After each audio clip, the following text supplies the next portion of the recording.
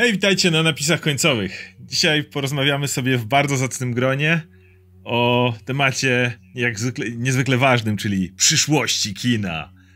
Y, więc y, bardzo miło jest gościć y, po raz kolejny Bartka Przybyszewskiego. Pewnie niedawno, mam nadzieję, że widzieliście niedawno nasz wspólny materiał, gdzie był crossover z jego podcastem Podcastex. Cześć. No i, i po raz kolejny jest Łukasz Stelmach.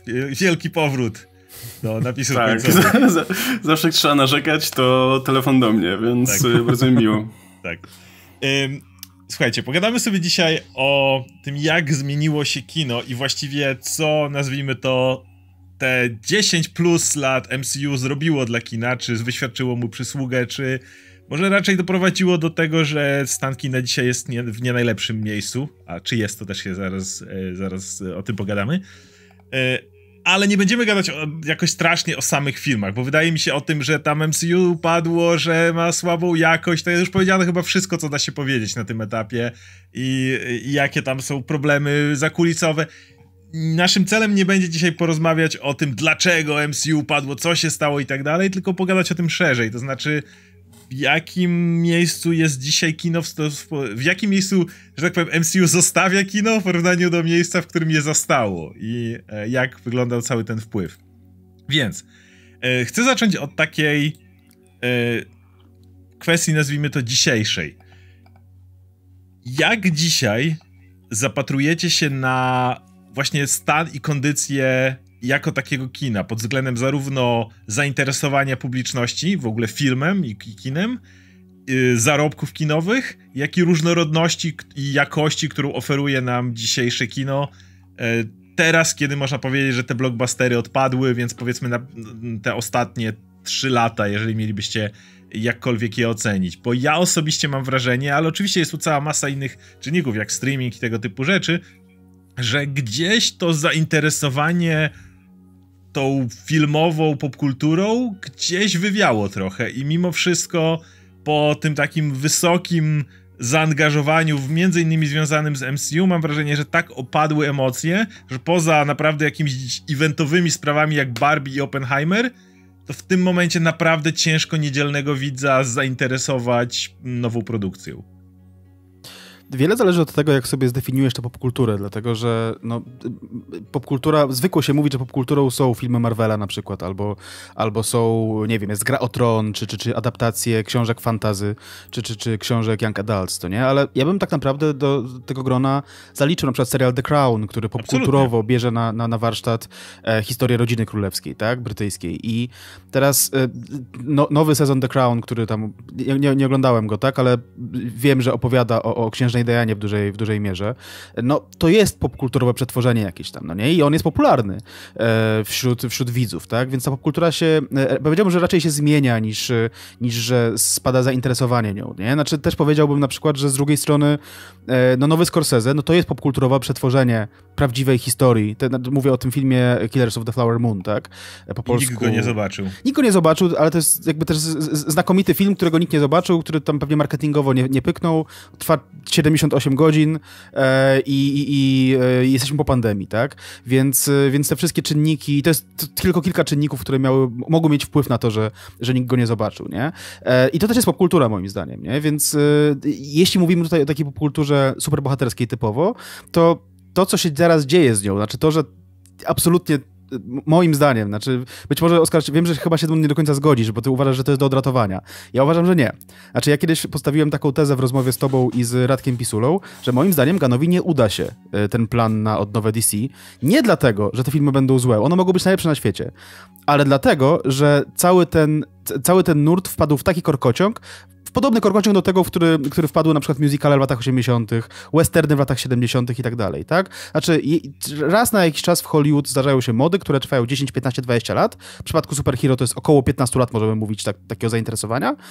No i to nie jest tak, że powiedzmy, już zostanę przy tych musicalach, że na przykład na wysokości takiego filmu Xanadu, czy tam Sanadu, tak, z 80 roku, który był, jest powszechnie uznawany za porażkę wielką, ja go uwielbiam, tak, ale, ale to był taki, no. taki symbol po prostu takiego upadku musicali, że, mhm. ktoś zrobił film za 50 miliardów dolarów i on po prostu w ogóle się nie zwrócił i ludzie uznali go za straszny obciach. To nie jest tak, że gdyby ktoś wszedł wtedy i powiedział, a ja mam inny pomysł na musicale i zrobię teraz tak, że ta moda będzie dalej trwała, to to by się moim zdaniem wciąż nie udało, dlatego, że jest pewne momentum, tak, w historii, jest pewne zainteresowanie i ono bija po jakimś czasie, tak? Więc y, ja bym bardzo chciał, żeby te filmy o Batmanie i Supermanie od Gana były, były super, tak? Ale e, niezależnie od tego, moim zdaniem, y, nie ma takiej możliwości, żeby one kosztując 200 czy 250 milionów dolarów, tak, y, były, e, zwróciły się, tak? Albo, albo były w stanie jakoś wjechać z powrotem na ten tor, którym jechało MCU przez, może nie 15 lat, ale przez 10 lat, tak? Że cokolwiek nie zrobią, to będzie zajebiście.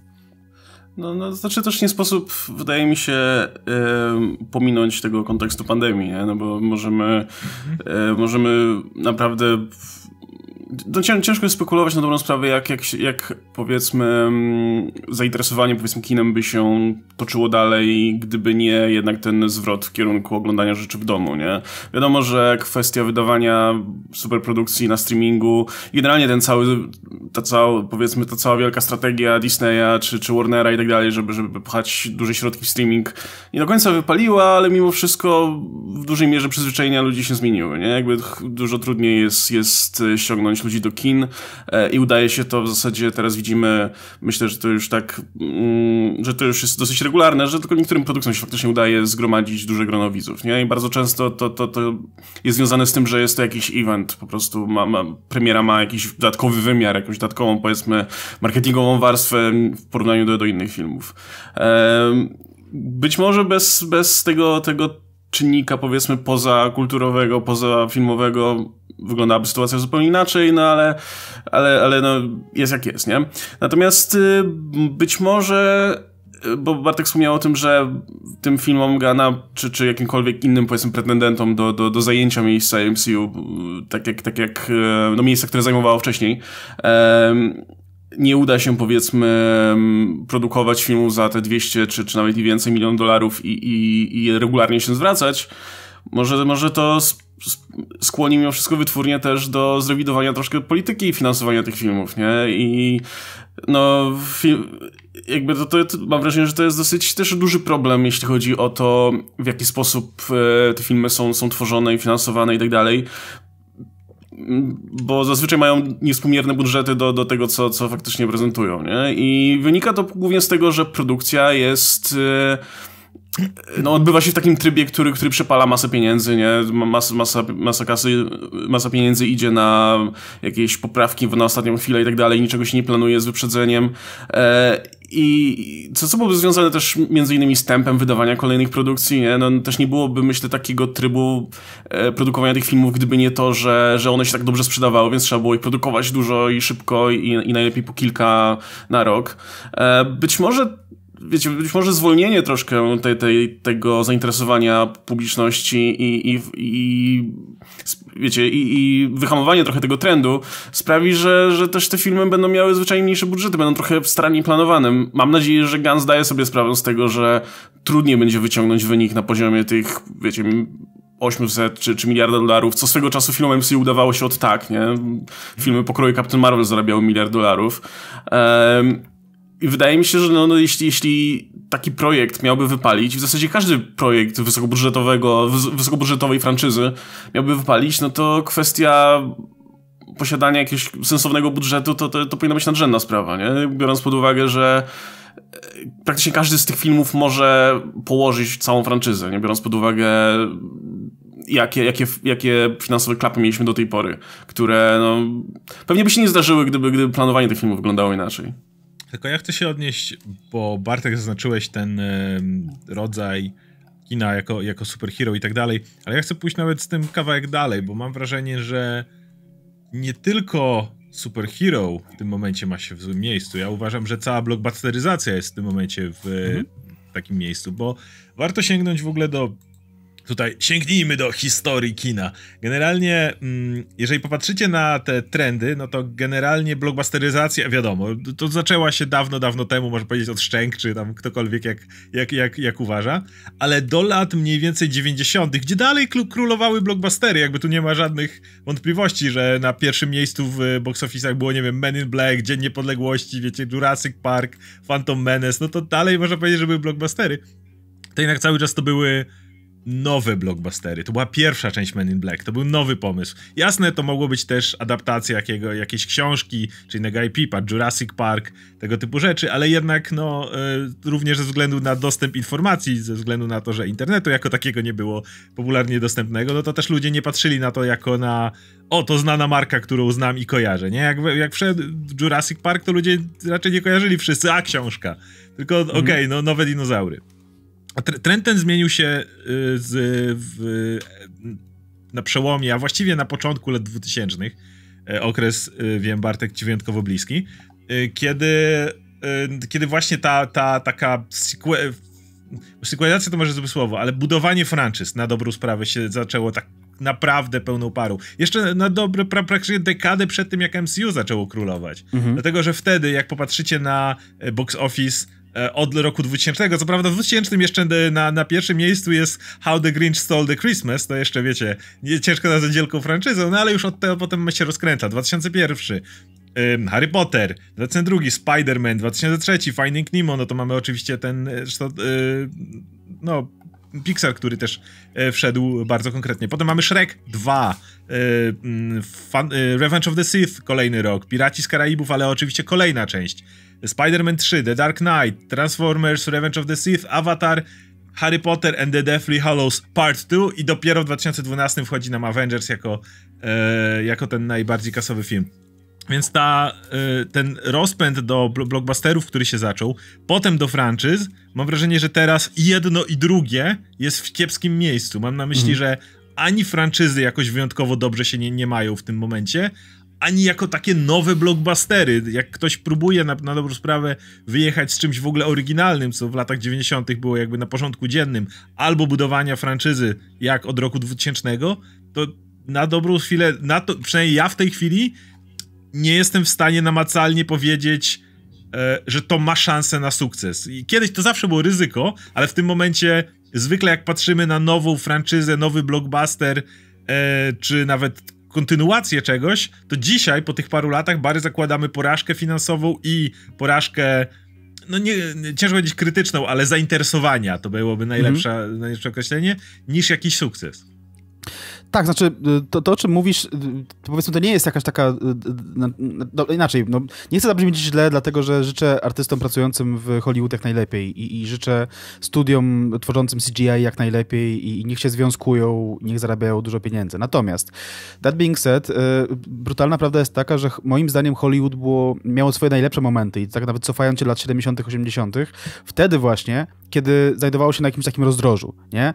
E, wtedy uaktywniała się kreatywność, która, której też często brakowało w latach 90. na przykład, ale mimo wszystko, jeśli mówimy o latach 90., no to przecież jak jest, akurat wszedłem sobie w międzyczasie na, jak, jak, jak, gdy mówiłeś na stronę Box Office, Box Office Mojo i sprawdziłem sobie dwa e, lata, 94-95, no nie? Tam w pierwszych trójkach było bardzo często miejsce dla filmów średniobudżetowych, tak? Które właściwie zniknęły w ostatnich 15 latach. Niestety, moim zdaniem to jest, że to, to, to bardzo niedobrze, że zniknęły, tak? Czy są takie filmy, które zawsze były związane z jakimś ryzykiem, bo nie można powiedzieć, że przykład Forest Gump, który był wielkim hitem, on kosztował 55 milionów. To nie jest mało, ale też nie jest bardzo dużo, dlatego że Batman Forever kosztował już 100 milionów, więc powiedzmy to jest, to był wtedy wówczas, to był wówczas średni budżet, nie? Eee, i, I to były filmy, które zawsze podejmowały jakieś tam ryzyko, no nie? I, i, I to ryzyko bardzo często się w ogóle nie opłacało, tak? No bo, nie wiem, jak Hollywood zrobiło własną Godzillę, no to wyszedł, wyszedł straszny gruz z tego, no nie?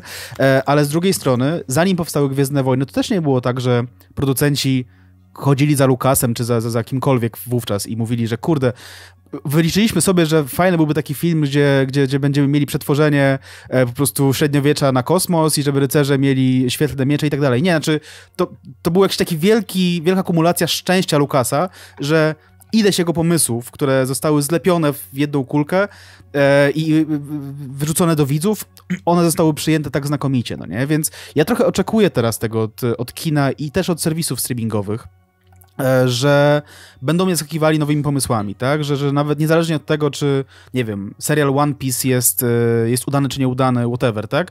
E, no to jest uznawany za udany, ale mimo wszystko to jest adaptacja anime, które, które jest znane od 20 iluś lat. A ja bym bardzo jednak chciał powrotu do, do, do, do oryginalnych treści i to jest taki moment, w którym te oryginalne treści mają szansę gdzieś tam sobie wybrzmieć, czego przykładem jest studio A24, tak? I, i, i ten wielki sukces, który był związany z Wszystko Wszędzie Naraz, tak? E, nie pamiętam, czy on się w końcu, zwró- chyba się zwrócił w końcu, tak? Znaczy to był sukces finansowy jakoś tam, e, ale E, nawet jeśli się nie zwrócił, no to studio nie straciło na nim wiele, dlatego że to był stosunkowo tani film, tak? tak? To, był, to nawet chyba nie był średni budżet, to był po prostu niski budżet, tak? Jakby oni tam jakoś pokleili ten film za jakieś y, relatywne grosze. E, no to jest, do, ale, ale z całą pewnością ten film zdobył e, duży, powiedzmy tam, respekt ze strony krytyków i gremiów. 20 nie? milionów zarobił 143. To no to się zwrócił wielokrotnie. Tak pamiętam, że były takie informacje w okolicy premiery chyba, że, że on ma problemy ze zwróceniem się, a później to jakoś tak poleciało, jak e, no, ludzie pocztą no, pantoflową tam. No tutaj wiesz, Oscarowy baz jednak wszystko zadziałał. Tu trzeba pamiętać o tym, że te filmy, które są... Yy ja tutaj trochę się wetnę, bo uważam, mm. że nie możemy patrzeć na Everything Everywhere All at Once jako taki sztandarowy przykład, no, bo nie wszystkie, bo nie wszystkie mm. filmy mogą być trafić od razu pod e, rozmowy o nagrodach. Natomiast e, ten film niewykluczone, że byłby fajnym filmem w bańce e, jakiejś tam nerdowsko-popkulturowej. Gdyby nie to, że tak głośno zaczęło się robić o jego szansach Oscarowych, potem oczywiście już y, fakt, że, że, że wszystkie nominacje czy, czy nagrody, które zdobył, no ale jednak y, no tego typu filmy nie, nie są w stanie być regularnie zmieniać kina, prawda? To, to, to, jest jeden film, obok wyjdzie pięć innych, które może być równie dobrych, ale no, jeżeli one nie będą miały tego bazu nagród wokół siebie, no to w życiu nie, nie odniosą takiego sukcesu. Ale baz nagród w jego przypadku nadszedł dużo później, tak? Znaczy to nie było tak, że on dostał Oscara miesiąc po premierze, tylko długo po premierze. To było chyba ponad pół roku nawet, nie? Tak, tak, ale, Więc... ale, ale, ale, ale, nie mówię o, o, kiedy dostał, a mówię o kiedy zaczęło się mówić faktycznie o tym, że on zaczyna być, mieć realne szanse nominacji i tak dalej. Ten, ta kula śnieżna się toczyła jednak. No to zawsze są jakieś takie nominacje dla blockbusterów typu Mad Max Fury Road. To były takie, przez wiele lat były, zawsze był jeden blockbuster, który był nominowany, czy tam e, na, do najlepszego filmu, tylko po to, żeby był, a potem nie dostawał tej nagrody, nie? Więc to, to też nie było takie pewne, nawet do ostatniego momentu przy, w przypadku Everything All at Once, tak? Um, everywhere, zapomniałem, e, że, że on dostanie tego Oscara, nie? Więc e, oczywiście, że to nie jest typowy przykład, ale to, jest, to może być coś, co, co, co, co mm, może stanowić jakąś taką, już taką zapowiedź, że, że, że być może twórcy dostaną wolną rękę, skoro studia już teraz moim zdaniem zauważają z całą pewnością, znaczy już dawno zauważyły e, po pandemii, no że te stare, powiedzmy takie, te, te, te kolejne, te stare schematy już przestały działać, nie? Znaczy absolutnie już teraz nie jest tak, że jak zrobimy e, Blade'a z Maharshallą Alim, to wiemy na pewno, że on zarobi, nawet jak będzie kosztował 100 milionów, no nie? No nie wiemy tak naprawdę, no czy ktoś byłby na to w stanie teraz postawić pieniądze, że on się zwróci tam te dwukrotnie, tam ten, ten budżet, moim zdaniem to byłoby bardzo ryzykowne na ten moment, nie? E, nawet jeśli film był, byłby dobry. Więc oni muszą teraz poszukiwać i w tym poszukiwaniu widzę wiele szans dla mnie jako dla widza, przy czym tak jak mówię, no jest to zła e, informacja dla e, osób zatrudnionych w Hollywood, tak? No bo mm, mniejsze filmy to mniej osób pracujących nad filmami, więc, więc będzie to jakoś tam związane z reperkusjami tego rodzaju, nie? No zazwyczaj jakby to właśnie historia kina nas uczy, że za każdym razem jak mieliśmy pęknięcie jakiejś bańki, to pojawiała się, pojawił się jakiś nowy trend, pojawiała się, pojawiali się nowi twórcy, którzy mieli jakieś świeże pomysły i korzystali z tego, że, że Hollywood było w stanie rozkładu i znajdowało się, znajdowały się budżety dla nich, żeby, żeby zrobić coś nowego, nie? Bo zanim były lata 80., no to podobna sytuacja była w latach 60., nie? E, i, I podejrzewam, że jest szansa, że, że, że coś podobnego wydarzy się teraz, szczególnie, że yy, wydaje mi się, że to też yy, to jest też kolejny, kolejny taki element, na który pandemia wpłynęła, yy, czy raczej do którego się dołożyła, mam wrażenie, że generalnie kino w tym momencie, szczególnie w porównaniu z latami 80., czy być może nawet wcześniej, no ma mimo wszystko większą konkurencję, nie? O, o, o czas, o, o czas potencjalnego powiedzmy klienta czy, czy, czy konsumenta. No bo jakby nie patrzeć, no wiadomo, że zwykle jak gadamy o filmach, no to mówimy o nich z perspektywy, że no sztuka i, i że to jest, że to, no, jest to jakiś tam element czegoś, czym się interesujemy i tak dalej, więc, więc przykładamy tego dużą wagę, ale przeciętny widz traktuje kino po prostu jako rozrywkę, nie? z którą konkuruje masa innych rozrywek na dobrą sprawę, e, które być może w tym momencie wydają się dużo bardziej atrakcyjne niż, niż wyprawa do kina, żeby siedzieć na sali kinowej, gdzie puszczają ci milion reklam wcześniej, wcześniej i musisz zapłacić kupę kasy za bilet i tak dalej, a w efekcie dostajesz The Marvels, nie? E, I mam wrażenie, zresztą no, tak samo e, Oczywiście no, tym podstawowym konkurentem kina jest, jest, jest streaming w tym momencie, ale nawet y, wydaje mi się, że streaming doskonale zdaje sobie sprawę i szefowie platform streamingowych zdają sobie sprawę z tego, że ich pozycja też nie jest aż tak silna, biorąc pod uwagę, że mamy jeszcze gry wideo, które, które w zasadzie tylko rosną w siłę z roku na rok. Mamy całą masę innych y, platform z treścią, nie? Y, różnego rodzaju że szefowie Netflixa mówili wyraźnie, że ich e, głównym konkurentem nie jest kino, tylko TikTok, TikTok i YouTube i Fortnite, i, i Fortnite nie? No, co, co, co ma sens, no bo tak naprawdę można by powiedzieć, że no to są zupełnie różne rodzaje rozrywki, ale na dobrą sprawę sprowadzają się do tego samego, po prostu no, zajmowania czasu. E, I wydaje mi się, że na tym, na tym poziomie takim czystej rozrywki, w momencie, w którym MCU się skończyło i skończyło się taka, skończyła się ta wielka telenowela, którą po prostu masa ludzi śledziła już z przyzwyczajenia, trudno będzie jakby w tym momencie wypełnić powiedzmy tę lukę, nie? I jasne, będą pojawiać się na pewno pojedyncze filmy, które z różnych powodów będą miały tą aurę czegoś, co warto zobaczyć z różnych powodów, jak właśnie Barbie, czy, czy Oppenheimer, czy nie wiem, Super Mario Bros. wcześniej mówi, nie? E, czy, czy, czy masa różnych pojedynczych, pojedynczych produkcji, ale trudno mi sobie wyobrazić projekt, który, jakiś większy projekt, który mógłby zająć to miejsce. E, no, wydaje mi się, tak, tak jak Bartek wspomniał, nieważne jak dobre byłyby filmy Jamesa Gana dla, dla Warnera, dla, dla DC, pewnie już nie będą takim fenomenem, nawet jeśli będą zarabiać sensowne pieniądze, nie? Bo wydaje mi się, że, że, że mm, masa osób jest zwyczajnie... Z, jakby już się... Już, ma ten etap za, za, za, sobą, powiedzmy, śledzenia jakiejś wielkiej filmowej franczyzy. Nawet jeśli, nie wiem, pojedyncze filmy będą dobre, albo nawet cała, cała, cały cykl tych, tych filmów będzie dobry, no to pewnie nie...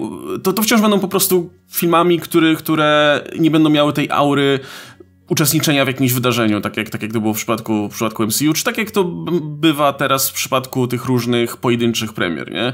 Nie wiem, ostatni, yy, wydaje też mi się, że być może robi to miejsce też na filmy kompletnie innego rodzaju. Znaczy, wydaje mi się, że, że też y, ten spadek popularności e, MCU robi też miejsce na, na filmy trochę zupełnie, in, znaczy na filmy, które, które kierowane są dla trochę innego widza, który być może znaczy, zrobiło się dopiero miejsce na, na dobrą tego typu filmów, nie? Biorąc pod uwagę, że, że, że tych blockbusterów nie ma aż tak dużo, e, studia są szukają tak naprawdę kolejnych marek, które byłyby w stanie się sprzedać e, i być może będziemy dostawać więcej filmów w pokroju, nie wiem, Dune na przykład, nie? Czyli wysokobudżetowe filmy na podstawie książek, e, które którym być może, których wcześniej by, być może nikt by nawet nie sfinansował, ale na tym etapie są na tyle zdesperowane, że, że są w stanie wyłożyć pieniądze na taki projekt, nie? I o dziwo Duna się sprzedała i to całkiem nieźle, nie? Na, nawet mimo jednoczesnej premiery na streamingu zarobiła sensowne pieniądze. Więc... Yy, być może więcej tego typu projektów też będziemy widzieć, które mam wrażenie, że w momencie tego piku MCU miałyby większy problem, żeby, żeby, żeby się pojawić na, na rynku. Okej, okay, to teraz śmiała teoria i być może pesymistyczna, być może nie. Jedną z rzeczy, którą wiele osób przypisuje do absolutnej konieczności dobrego stanu e, kina i jakiegokolwiek dyskursu w tym, który jest jednocześnie konieczny w tym, żeby kino nie zmieniło się i ogólnie filmy w content do kotleta i nic więcej, e, jest kino, w sensie budynek, jest e, cała ta forma wyprawy do kina i oglądania filmów w kinie, ponieważ mm, jeżeli nie, nie oglądamy filmów w kinie, to bardzo często e, nawet jeśli ten film nam się podoba i są na to badania konkretne, to one są, to, to, to mimo wszystko to nam się zlewa bardzo w, w papkę kontentową, którą na przykład Netflix oferuje. To bardzo dobrze pokazuje to, jak E, oglądane są filmy na platformach streamingowych, które mają premiery prosto na platformy streamingowe, porównaniu do tych, które najpierw miały premierę w kinie, a potem trafiły na platformę streamingową. One mają dwukrotnie często czy więcej e, ilość obejrzeń na samej platformie streamingowej niż te ich oryginalne produkcje, bo zupełnie inaczej je oceniamy. E, zainteresowanie pod względem wyszukiwania w internecie, nie? Można mierzyć spokojnie, jak dane hasła są wyszukiwane. Zawsze przy filmach, które miały premierę kinową, są większe, są dużo większe zainteresowanie, jest to, to, wynika z tego, że jest też rozmowa y, pomiędzy ludźmi y, często, no bo tutaj oczywiście nie, nie trzeba tłumaczyć, inwestujemy w to czas, inwestujemy w to y, konkretne pieniądze na konkretny produkt, a nie na bazę produktów. Mhm. Mamy cały element, w którym nie mamy kontroli nad tym, nie możemy sobie trzymać, pójść do kibla, musimy cały film wysiedzieć, obejrzeć generalnie tu i teraz, a jeżeli wyjdziemy, to coś stracimy i tak dalej. Jest cała otoczka, która powoduje, że jest to jakby konieczne. No i teraz w tym momencie widzimy wyraźnie, że kina są, e, bo mówimy o miejscach na inne rzeczy. Problem polega na tym, że no, patrząc na te wyniki finansowe, to widzimy, że ludzie dużo rzadziej e, chodzą do kina. Jasne, możemy mówić o pandemii, o streamingu i tego typu rzeczach, które na pewno były bardzo ważnym czynnikiem w tym wszystkim, no ale jednak fakt pozostaje, jeżeli mamy w tym momencie, kiedy to nagrywamy, mamy Marvels, mamy Killers of the Flower Moon, mamy nowe Igrzyska Śmierci i to są wszystko wtopy finansowe właściwie, jedno po drugiej, no to, to nie tak, że ludzie poszli na to, nie, nie poszli na to, bo inny duży film był w kinach, który ściągnął. Nie, to znaczy, że ludzie po prostu nie poszli do kina w tym, w tym okresie. Mhm. I pytanie brzmi teraz, bo mam, mam jakby dwie rzeczy, które tutaj są. Po pierwsze, czy nie jest przypadkiem tak, czy nie jest ryzyko duże, że ludzie prędzej przestaną w ogóle chodzić do kina, ni, niż zaczną chodzić na inne rzeczy, a jeśli przestaną, no myśli w ogóle, że to będzie tak niszowa rzecz, że wiecie, jakieś tam no, naprawdę, nie że zniknie kompletnie, ale no wielkie multiplex nie będą w stanie się utrzymać, umówmy się z, z tego typu rzeczy. E, bo, bo niektórzy się dopatrują tego, że teraz o, wejdzie kino, nie wiem, nieamerykańskie czy coś takiego. Natomiast ja obawiam się tego, Francuskie że... komedie, mam nadzieję, Francuskie komedie, tak, tak, tak, widziałem, tak, tak. E, ja mam takie, taką teorię y, trochę pesymistyczną, że ludzie prędzej porzucą kino i y, będą oglądali w domu, a wiadomo, jak mówiłem przed chwilą, jakie, jakie to ma konsekwencje, niż zmienił przyzwyczajenia i stwierdzą, że nie chcą oglądać blockbusterów, bo tak jak mówię, blockbusteryzacja nie zaczęła się od MCU, nie zaczęła się nawet w latach 2000, zaczęła się dużo wcześniej. Moim zdaniem to się wydarzy. Znaczy, w sensie, rzeczywiście ludzie przestaną chodzić do kin, acz nie do wszystkich. Znaczy, to, o czym mówi, rzeczywiście jest wielkim zmartwieniem dla sieci multiplexów, dlatego że one opierają się powiedzmy nie na społeczności zgromadzonej wokół jakiejś sieci czy wokół jakiegoś kina. Wiadomo, Cinema City ma tę swoją kartę, ale to, to, nie jest społeczność, tak? To jest bardziej tak. usługa, tak? Za, za, którą płacisz co miesiąc. E, natomiast e, mogę powiedzieć ze swojego doświadczenia, wiem, że to, są, to będą przykłady e, anegdotyczne, ale mimo wszystko ostatnio byłem parokrotnie w kinach studyjnych na dość eksperymentalnych pokazach typu puszczali Opętanie Żuławskiego w kinotece w Warszawie, w centrum Warszawy i byłem jeszcze na Sokole Maltańskim, no też w kinotece zresztą, nie? Na obu tych filmach były pełne sale. Jak się odpowiednio dobierze seans, nawet nawet jakiegoś takiego małego filmu, nie wiem, europejskiego, który wyjechał z nagrodą z Cannes czy z Wenecji, jeśli pójdziesz wieczorem w piątek, no to kupuj wcześniej bilety, bo one się mogą wyczerpać, tak? To nie jest tak, że kina studyjne są w fantastycznej sytuacji, one się w ogóle cieszą z tego i zacierają ręce, że Marvel się zesrało, nie? E, przy czym bardzo mnie rozbawiło ostatnio, że, że, że Kinoteka w, e, i Atlantic, czyli dwa takie kin, duże kina popularne, niesieciowe w centrum Warszawy, pisałem wam obu, że, że, że, że oni nawet nie, byli zainteresowani Marvels. Marvels. Oni po prostu stwierdzili, dobra, spadamy, nie? Jakby nie robimy tego i wydaje mi się, że tam po prostu nie było żadnego seansu do Marvels, bo byłem parę dni po premierze, więc to, to nie jest tak, że oni e, zrobili, e, poprawili swoje te plany na, na najbliższe repertuarowe, tak? Tylko, tylko po prostu stwierdzili, że nie będą tego u siebie puszczali. E, no ale to jest duża szansa właśnie dla kin studyjnych, które mogą cały czas pozycjonować się po pierwsze do kinomanów, którzy lubią tworzyć społeczności, jak się chodzi do kin studyjnych, to widzi się czasami same twarze i tak dalej, a po drugie mogą e, po prostu eksperymentować z różnymi formami e, zachęcania ludzi do chodzenia do kin, z czego przykładem na przykład jest teraz e, zbliżający się taki festiwal y, klasycznego kina, który się odbędzie w przyszłym roku w Polsce, w, tam w różnych miastach w Polsce bodajże, tak? E, I to będzie na wiosnę, nie? Więc tutaj oni mają dużo sposobów na to, w jaki sposób zachęcić ludzi do tego, żeby, żeby przyszli do kin. Multiplexy nie mają takich sposobów za bardzo, nie? Znaczy też oczywiście mogą robić podobne rzeczy, ale, ale jeśli chcesz iść na randkę, jeśli chcesz, e, nie wiem, e, spędzić miło sobie wieczór, no bo to jest cały czas to, co zapewnia kino. Znaczy oczywiście, że nie możesz zatrzymać filmu i iść do kibla, no ale wciąż zostaje doświadczenie pod tytułem film jako społeczne przeżycie, tak? Że idziesz na komedię do kina i cała sala się śmieje, jeśli jest tak. dobra, tak? Albo idziesz na horror i cała sala podskakuje i to jest fan z oglądania tych, znaczy, to jest część tego doświadczenia i część tej usługi, która, której streaming nigdy nie, nie zabierze, no nie? I moim zdaniem y, bardzo pokiereszowane wyjdą z tego duże kina y, w sieciach, tak? A, a e, przetrwają to, to, to te małe kina, które będą miały na siebie e, pomysł, nie? I, I wiem skądinąd, że te małe kina cały czas szukają nowych sposobów na monetyzację. Zapraszają influencerów, e, podcasterów, e, podcasterzy robią tam jakieś przeglądy własne, zapraszają nie wiem, reżyserów, jeśli są dostępni, żeby zrobili jakąś prelekcję albo rozmowę przed, przed filmem i tak dalej, i tak dalej, no nie? Duże kina mogą to robić, ale no, nie robią tego i są dużo mniej atrakcyjne e, dla widzów i dla osób, które miałyby organizować takie wydarzenia, niż klimatyczne kina studyjne, które mają salę z lat 50. i są takie fajne, bo, bo fotele trzaskają, nie? To, to może się wydawać śmieszne, no ale tak kurczę jest, nie? Podejrzewam, że duże kina też będą się starały ratować innymi sposobami. Może nie będą tworzyć społeczności, nic takiego, ale e, widzieliśmy, jakim sukcesem chociażby były pokazy e, koncertów Taylor Swift, nie? Wydaje mi się, że, że ale... być może po prostu zaczniemy widzieć w kinach tak. masę innych rzeczy. Zresztą z tego, co kojarzę, to już e, nie wiem, w multikinach czy gdzieś są transmisje sportowe chociażby mm. i tego tak. typu rzeczy. No, czy, jakoś trzeba będzie to salę zapełnić, wydaje mi się. Ale, ale, ale no ja się zgodzę z tym, że, że, że na pewno będzie problem i wydaje mi się, że y, właśnie w kontekście tego, że że dla przeciętnego, y, przeciętnego wiecie, klienta kina to jest po prostu jedna z wielu rozrywek, a umówmy się, na, na, wielu poziomach to jest bardzo upierdliwa rozrywka i bardzo często ten, powiedzmy, efekt nie jest warty, wiecie, wysiłku czy zasobów, które trzeba włożyć w wyprawy do kina, kupno biletu i tak dalej.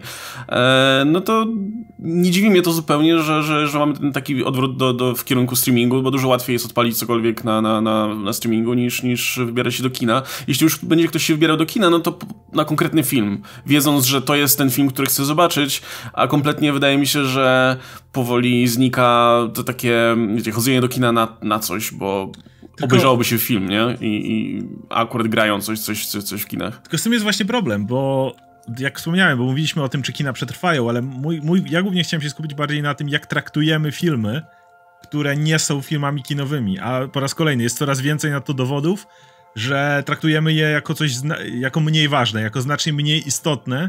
Seanse oglądane w domu masowo uznajemy za coś za rozrywkę, która jest gorszej jakości.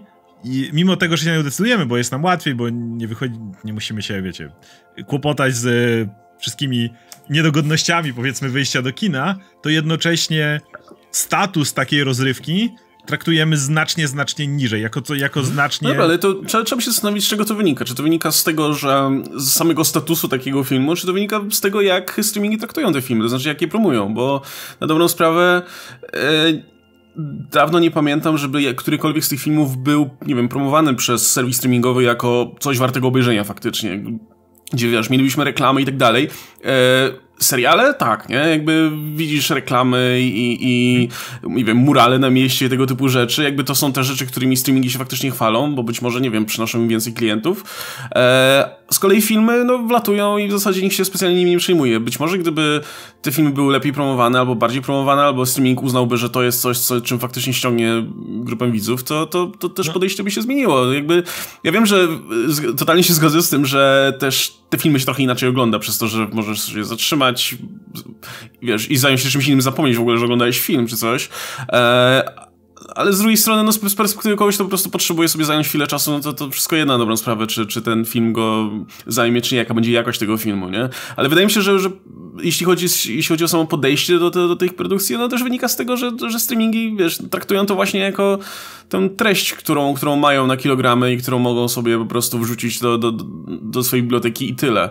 Ehm, to, to właśnie tu też się pojawia kwestia tego, że, że pewnie seriale są zwyczajnie dużo bardziej łatwiej nimi przyciągnąć, powiedzmy, widzę i zatrzymać przy sobie niż, niż, niż filmem. Być może dlatego te filmy są traktowane trochę jak ale ten właśnie, właśnie drugiej kategorii. Ale właśnie o to chodzi. Filmy według mnie i według e, wszelkich danych, jakie mamy w tej chwili, w ogóle model streamingowy, już w tym roku mieliśmy chyba największe tutaj piękne analizy, które pokazały, jak sam model streamingowy był, okazał się cholernie nierentownym e, modelem.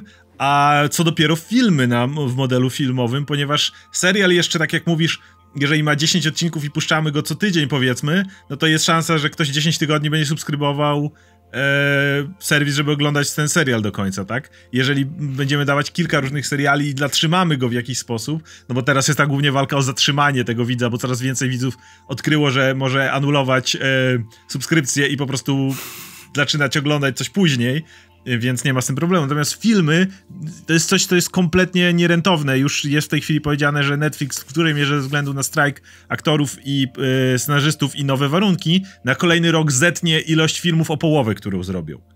E, co, co, co musi się zdarzyć. Natomiast cały czas uważam, że problem polega na tym, może jest tak, jak mówisz. Może gdyby była reklama większa danych filmów, to mielibyśmy do niej większą wartość do nich przykładali. Tylko, że ja nie wierzę w to, że ta reklama tych filmów może się pojawić, bo znowu to jest kolernie nierentowne. Dlatego, że kiedy robisz reklamy filmów w kinie, to dużo więcej hajsu wyciągniesz z tego. Natomiast yy, jeżeli zrobisz wielką reklamę danego filmu na streamingu, no to mm, ktoś tam wyliczył, że gdyby na przykład Greyman, kompletnie nieudana produkcja yy, braci Russo, za bodajże 200 milionów z Ryanem Goslingiem, gdy, że, gdyby ona miała się zwrócić, to znaczy, że nagle 13 milionów ludzi, widząc reklamy Greymana, którzy jeszcze nie subskrybują Netflixa, musiałoby w tym momencie zasubskrybować Netflixa, żeby tak mhm. jeden do jednego nagle jakby wpłynęła ta kasa. To jest w ogóle nierealne, to jest w ogóle niemożliwe i to się nie stanie, więc jakby tutaj wydaje mi się, że no, to jest taki ślepy zaułek. No tak, no dlatego moim zdaniem potrzebne jest to, o czym wspomniał Łukasz na początku i co zresztą robi teraz Disney i robi Marvel, tak? No, wiemy o tym, że w przyszłym roku będzie tylko jeden film MCU, czyli restrukturyzacja, tak? Brzydkie słowo na R, którego nie lubią producenci. No nikt tego nie lubi, dlatego że ona zawsze jest związana z nieprzyjemnościami typu zwolnienia, ale też nieprzyjemnościami typu zintensyfikowana praca, tak? Już nie możemy robić tego, co zawsze, żeby się sprzedawało, tylko musimy coś przemyśleć. E, no i takich szaleństw, o których wspomniałeś, typu ten Greyman, no było przecież wiele. Możemy tutaj powiedzieć na przykład o tym, co teraz robi Netflix z Zakiem Snyderem, ten Rebel Moon. Nie to może być super film, nie, nie sądzę, ale to może być super film. Natomiast e, no przecież oni tam wydali jakiś pierdylion dolarów na to, nie, nie wiadomo po co. Znaczy to nie... Zak, nie zrobisz swoich Gwiezdnych Wojen, nie? Znaczy to, to, to nie wyjdzie. Znaczy, nie, nie dlatego, że to będzie zły film, tylko dlatego, że jest już troszkę za późno na to, nie? Znaczy, ludzie są zmęczeni Gwiezdnymi Wojnami, więc pokazujesz im coś trochę podobnego, nie ma to szczególnego sensu. Już pewnie tam decyzje były podjęte lata temu, więc, więc to, to, co dzisiaj komentujemy, to jest, wiesz, jesteśmy mądrzy po, po czasie, nie?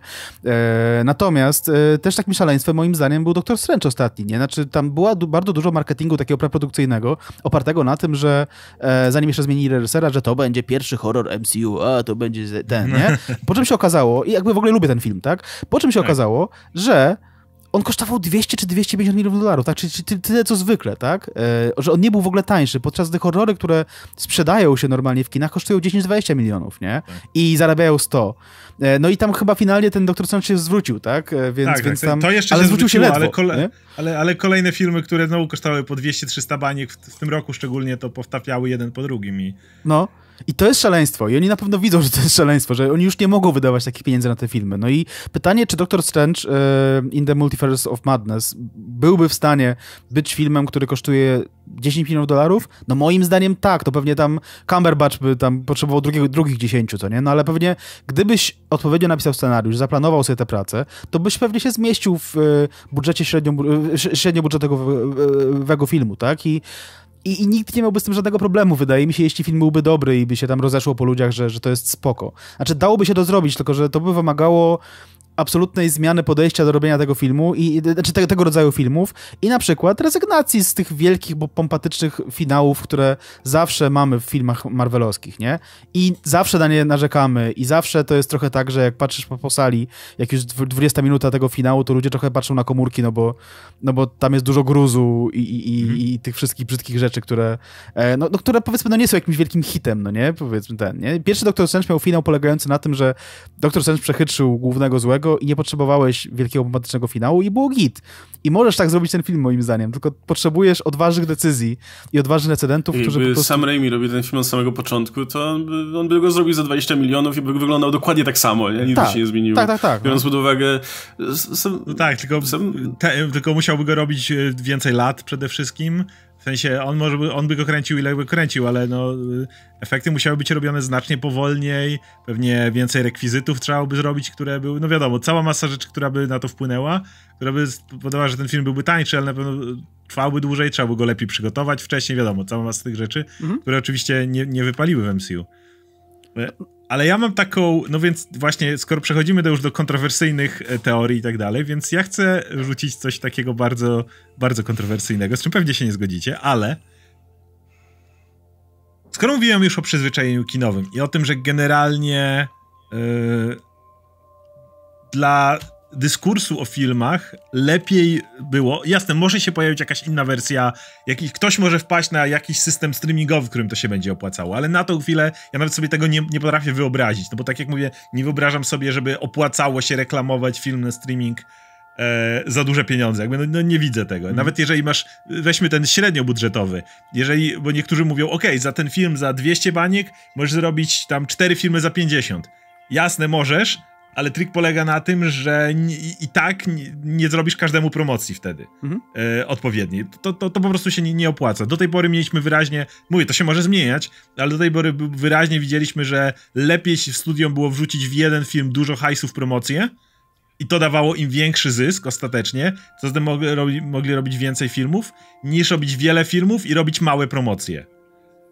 Mówię, to się może zmieniać, ale jak to wyglądało. Więc pytanie brzmi, jeżeli mamy tego typu rzecz, prze, y, trzeba przyznać, że w ciągu tego e, okresu MCU kino dosyć mocno żyło i to nie tylko jeśli chodzi o MCU. Mhm. Bo być może, na to oczywiście nie mam jednoznacznego tutaj dowodu, to jest tylko i wyłącznie spekulacja, ale być może y, miało miejsce takie dziwne zjawisko, w którym kiedy ludzie szli na film MCU, generalnie dobrze się bawili. Jeżeli chodziliście na filmy MCU, to wiecie, że sala tam potrafiła się śmiać, klaskać i różne rzeczy w odpowiednich momentach. I generalnie dobrze się bawili. I ich ten movie going experience był dobry i to było fajny sposób spędzenia czasu. To być może powód, dla którego wiele innych filmów w czasie MCU również zarabiało pieniądze. Nie takie jak MCU, ale jednak jak popatrzymy na to, co dzieje się teraz, znowu, yy, ktoś może powiedzieć, że, że pandemia, że streaming, jasne to jest tylko jeden z czynników.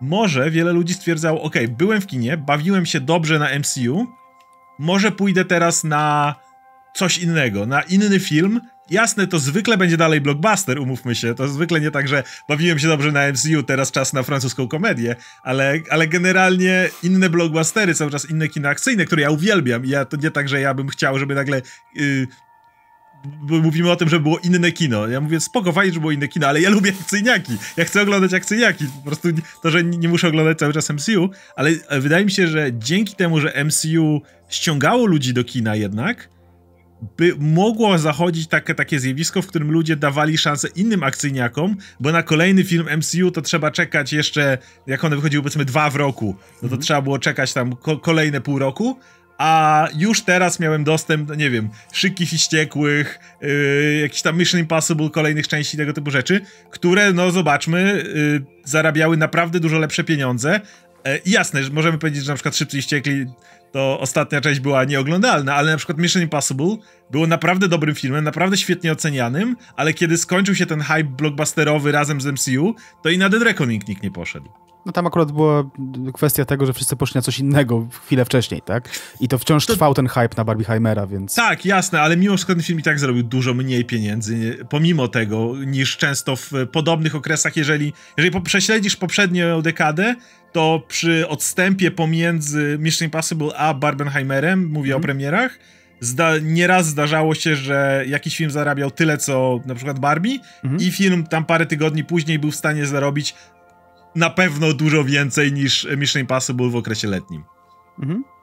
Znaczy, no, y, y, zgadzam się z tobą, że, że faktycznie MCU sprawiło, że kina były w, dobrych, y, w dobrym momencie, tak? Znaczy, gdybym był właścicielem sieci, y, tak, multiplexów y, za czasów, nie wiem, Endgame czy Infinity War... Ale przez to też filmy.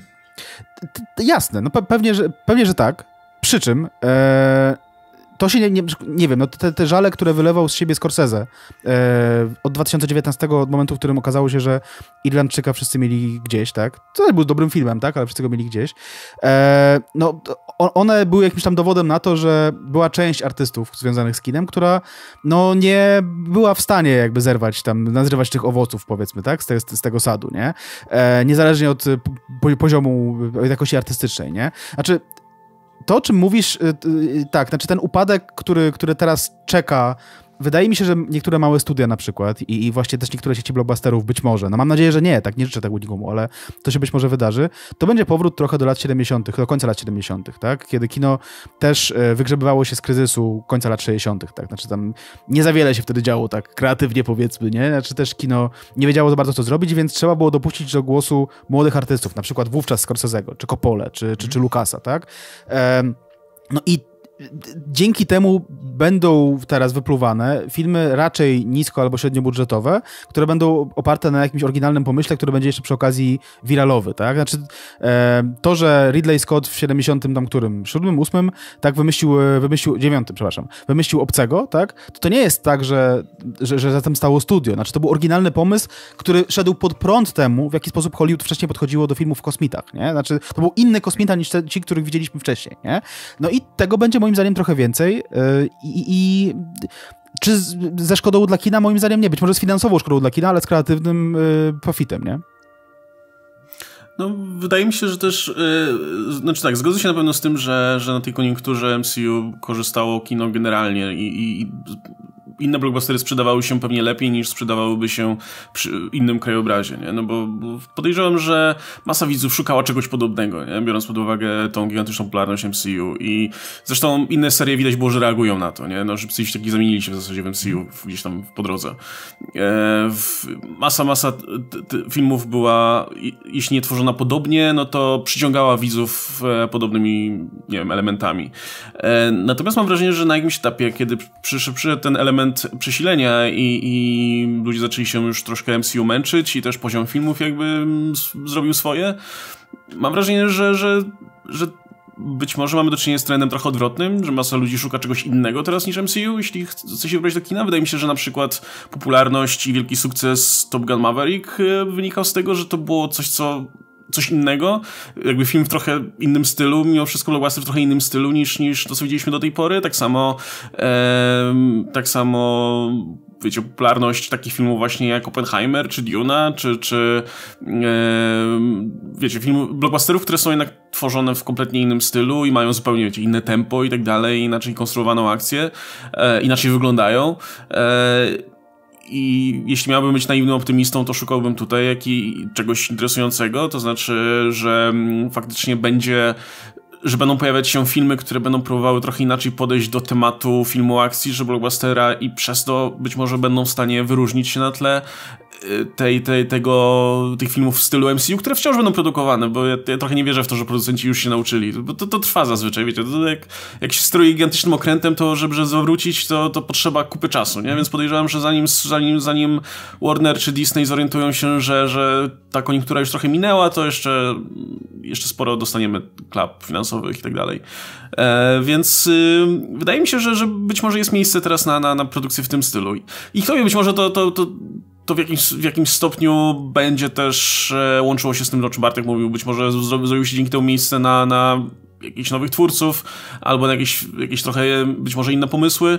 Natomiast e, no, mimo wszystko, gdybym miał być realistą, to jednak brałbym poprawkę pod to, że, że jednak jednak klimat jest trochę inny niż, niż właśnie w latach 70. czy, czy, czy wcześniej nawet.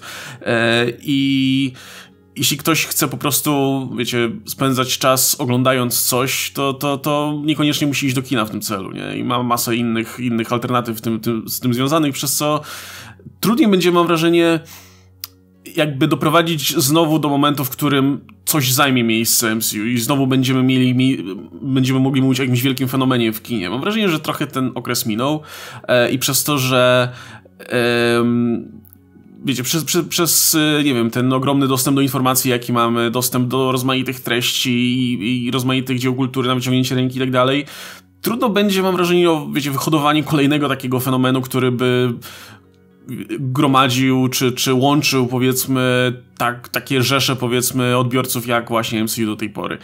Jasne, będą pewnie, nie wiem, ekranizacje jakichś książek, czy komiksów, czy gier, pewnie, pewnie czeka, czeka nas jeszcze faza ekranizowania gier masowego, e, ale mam wrażenie, że, że dużo trudniej będzie stworzyć coś takiego, co, co będzie, wiecie, jakby łączyło dużą grupę ludzi, przez to, że każdy ma trochę inny gust, trochę inne zainteresowanie, a fakt, jakim, a, a dużo łatwiejszy dostęp do rozmaitej do kultury niż mieliśmy kiedyś, sprawia, że dużo łatwiej do tych, do tych treści do, dotrzeć, nie? Jakby, nie, wiecie, no nie, nie ma sensu, trochę tak, trochę tak jest chyba w świecie muzyki, jakby mam wrażenie, że jakby mm, dużo trudniej dzisiaj o, o stworzenie, wiecie, takich gigantycznych, globalnych gwiazd, które byłyby uwielbiane przez absolutnie wszystkich. Poza Taylor Swift.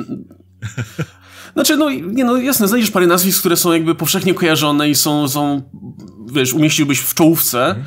ale mam wrażenie, że wiesz, może możesz nie wiedzieć, kim, y, jakby możesz spokojnie w dzisiejszych czasach nie wiedzieć, kim jest Taylor Swift i, i tak. jakby, wiesz, interesować się dalej z jakichś tam, i, ja, e, nie wiem, słuchaj zupełnie innych gwiazd, nie? Jakby mam wrażenie, że wiesz, te 10 czy 20 lat temu jakby nie sposób było przejść obok, powiedzmy, gwiazdy w tego, tego pokroju, nie? Bo, bo mieliśmy dostęp do, nie wiem, magazynów, które czytali wszyscy i, i, i, w, tych, i w tych wszystkich magazynach były dokładnie te same twarze, dokładnie ci sami artyści, nie? Gdzie dzisiaj tak naprawdę to, to się jest dużo bardziej jednak rozfragmentaryzowane i mam wrażenie, że, że w świecie filmu będzie to wyglądało w ten sposób. Szczególnie właśnie w świecie rozrywkowego kina, gdzie mimo wszystko dużo trudniej będzie stworzyć ten taki jednorodny trend, który wiecie, złapie absolutnie wszystkich, tak jak, tak jak, to, tak jak to było w przypadku, nie wiem, Gwiezdnych Wojen wcześniej, czy, czy, czy MCU potem. To ja mam dwie rzeczy. Po pierwsze to co do Dune i tego typu filmów, no to Uważam, że nie,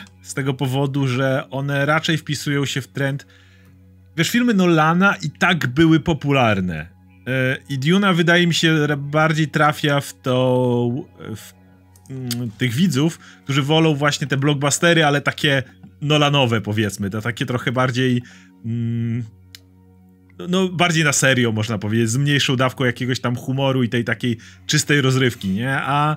Yy, i, i filmy tego typu, typu jak Duna, one w, w fazie MCU też miały swoje miejsce absolutnie. Po prostu teraz są bardziej zauważalne z tego powodu, że cała masa innych rzeczy ponosi porażki. Natomiast nie wydaje mi się, żeby nagle e, zrobiło się ich więcej niż było. Po prostu będziemy je bardziej widzieć, bo wszystko poszło w dół, a one gdzieś tam dalej się utrzymają. I no ja będę bardziej pesymistyczny. Ja uważam, że nie, ja nie sądzę, żeby stało się tak, jak właśnie mówiłeś Bartek na przykład w latach 70., że będzie teraz więcej inne, innego kina, że będzie więcej poszukiwania tego. Yy, uważam, że jakby jest jedna kluczowa rzecz, która to zmieniła i tą rzeczą jest internet.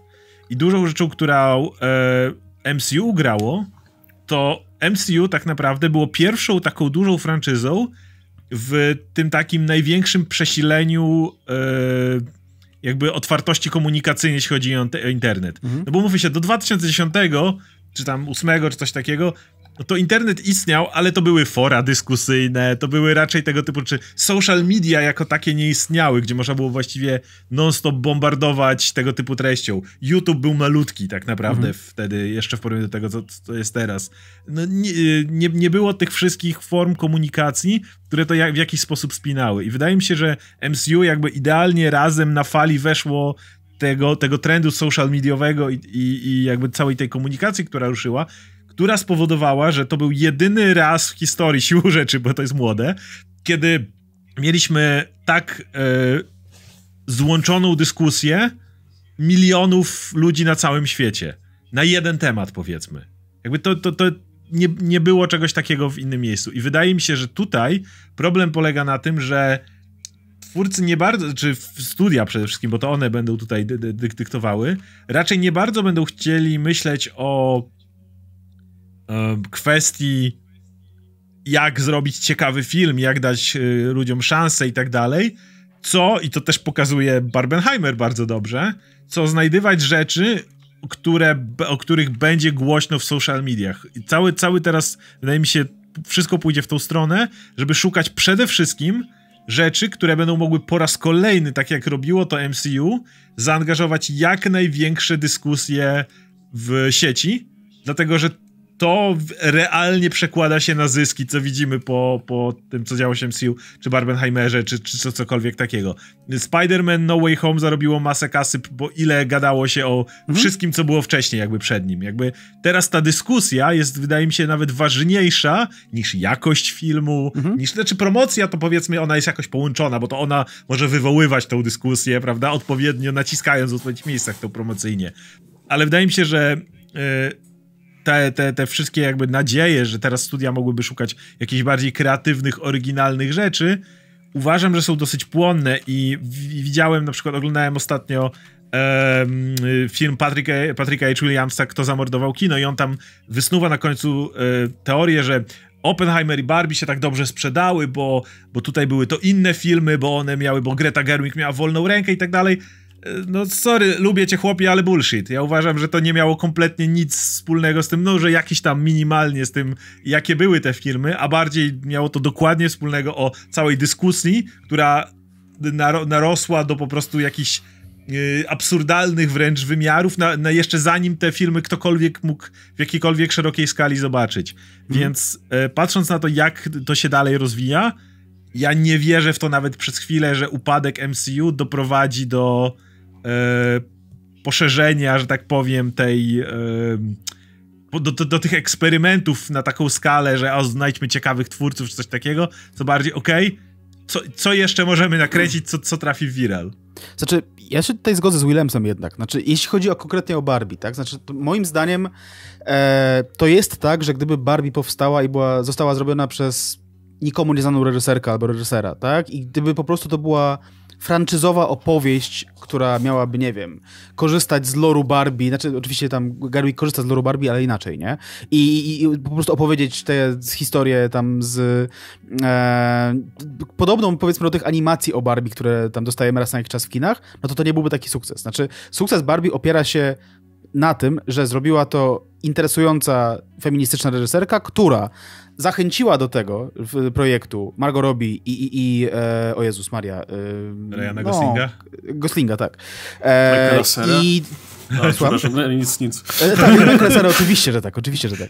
E, oni przyszli dlatego właśnie, że, że, że, że, mm, że, że, że on, ona to robiła, e, a ona to zrobiła tak, a nie inaczej, więc ludzie na to poszli. Znaczy, ja uważam, że to jest jakaś taka synergia, nie? Znaczy, była oczywiście część widzów, która nie słyszała nigdy o Grecie, Grecie Garwick, bo to jednak jest, była wcześniej, może nie niszowa reżyserka, ale dość mało znana e, i była część widzów, która poszła tam dla Margot Robbie, ale to, to wszystko się jakby ze sobą nie kłóci, znaczy będzie, będzie dużo poszukiwania jakichś takich e, małych synergii albo większych synergii, nie? Znaczy nie wierzę w to, że studia będą w stanie wymyśleć kolejnego, tak korporacyjnie wymyśleć kolejnego Barbieheimera, no będą nie, no, próbowali, nie, absolutnie, nie, nie, absolutnie się nie da, po ale... Mam... Mam mm. myśli, że to poszukiwanie tego, tych, tych dyskusji, e, filmów, które mają pobudzać dyskusję, mm. e, będzie ważniejsze niż sama jakość filmu. No właśnie e, pytanie, ale czy studia w ogóle...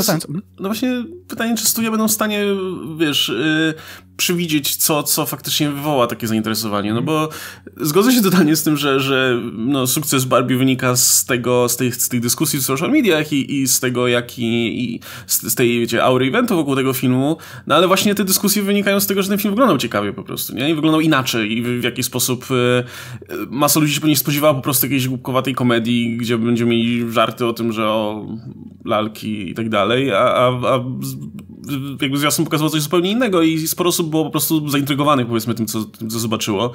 No i teraz pytanie, czy, czy być może, znowu postawię się znowu w pozycji optymisty, być może y, studia wiecie, przez to, że, że sam, że, y, że, że wiecie, producenci nie będą w stanie sami przewidzieć tego, które filmy faktycznie będą w stanie wywołać taką dyskusję, będą w stanie zainteresować widzów, będą się zgadzać na różne dziwne rzeczy, myśląc o tym, że okej, okay, może, może chwyci, nie? I jakby masa mhm. różnych dziwnych pomysłów będzie miała szansę zostać zrealizowana z myślą o tym, że no udało się z Barbie, może, może wiecie, jakaś, jakieś inne oryginalne pomysły mają szansę znowu wywołać jakiś bas w sieci, nie? Jakby, no wiadomo, czas, czasami ciężko określić, co się stanie viralem, nie? I co, co chwyci tak naprawdę ludzi. Czasami to, to czasami ta popularność przychodzi zupełnie znikąd i, i wiecie, tylnymi drzwiami e, w związku z jakimiś memami i tak dalej. Być może, być może jakieś, jakieś filmy, które normalnie nie miałyby szansy wywołać takiego, tak, powiedzmy, nie miałyby szansy na jakąś wielką promocję, e, wiecie, zrobić miejsce na to, bo, bo na przykład chwyci jakiś trailer albo, albo coś takiego. Więc może, może te wasze, wiecie, może te wasze wizje da się jednak powiązać w ten sposób. Tak, znaczy, właśnie ja tu nie widzę konfliktu między mną i Oskarem. Znaczy, ja, jeszcze z Barbie jest trochę tak, jak, wyobraź sobie, wyobraźcie sobie taką sytuację, że nie wiem, że któreś studio ogłasza, że będzie film pod tytułem Pac-Man, no nie? No i jakby się na to zareagowali, no, no, no nijak okay. pewnie, tak? No jakby no chuj. Ale gdybyście usłyszeli, że robią to Danielsowie albo, albo Lloyd i Weber, o, no to już jest coś interesującego, tak? Może nie dla wszystkich widzów, ale jednak to byłby jakiś tam e, e, ewentualnie potencjał do, do bazu. I teraz wydaje mi się, że studia nie mają teraz trochę wyjścia, znaczy muszą pójść tą drogą, dlatego że widzą, że ich metody, do których się przyzwyczaili, no nie działają już, tak? No, no, nie, nie, działa to, co już robią do tej pory, tak? E, i, i, wiedzą też doskonale, że nie można robić cały czas tego samego, widząc, że to nie działa, bo to doprowadzi do upadku. Więc w tym znaczeniu moim zdaniem wrócimy trochę do lat 70., bo wtedy wyglądało, do końca lat 70., bo wtedy trochę wyglądało tak, że studia po prostu rzucały pieniędzmi w jakieś dzieciaki. Jakieś po prostu ludzi z dupy, nie? I na 15 tak zrobionych filmów 12 e, było flopami, ale jeden z tych, jeden z tych 15 to był Gwiezdne Wojny, to był, to był pierwszy Obcy, e, czy, czy, czy inne projekty, które no nie były wysokobudżetowe, ale były kreatywnie tak mocne, że nawet jeśli nie zarobiły dużo w kinach, to jednak były prestiżowe dla samego studia, że i, i dało się je spieniężyć, potem zmonetyzować na różne sposoby, nie? No ja mam nad sobą, tylko... jak, jak, siedzę tutaj, mam nad sobą plakat filmu Kroll y, y, Kena Marshalla, który mniej więcej był dokładnie stworzone do tego, tego samego klucza co Gwiezdne Wojny, nie? Jakby też fantazy i, i wiecie, i kosmos i te takie przeorane przez rozmaite baśnie, tropy i tak dalej. Yy, on miał nawet wyższą jakość produkcyjną niż Gwiezdne Wojny, większy budżet i tak dalej, no i nie chwycił akurat, nie? Mimo, że teoretycznie jakby być może w jakiejś alternatywnej rzeczywistości dzisiaj ludzie biegają z glewiami w ręku, nie? I, i ten. No i jakby wydaje mi się, że, że jest, jest szansa na coś takiego, biorąc pod uwagę, że um, jakby w, w, nawet, nawet mam wrażenie, że w świecie, już wspomnieliśmy o filmach Marvela, mam wrażenie, że nawet jeśli ktoś chciał, jeśli, jeśli jest jakaś szansa dla filmu z superbohaterami, to być może właśnie e, ktoś będzie w stanie zrobić coś, czego MCU nie było w stanie nigdy zrobić, czyli, czyli pobawić się może trochę jednak róż, różnymi gatunkami, nie? Bo Bartek wspomniał o tym, że e, chwalono Doctora Strange'a jako, jako pierwszy horror MCU, nigdy nie dostaliśmy mm. na dobrą sprawę horroru z superbohaterami, chyba żeby Brightburn liczyć, ale no to...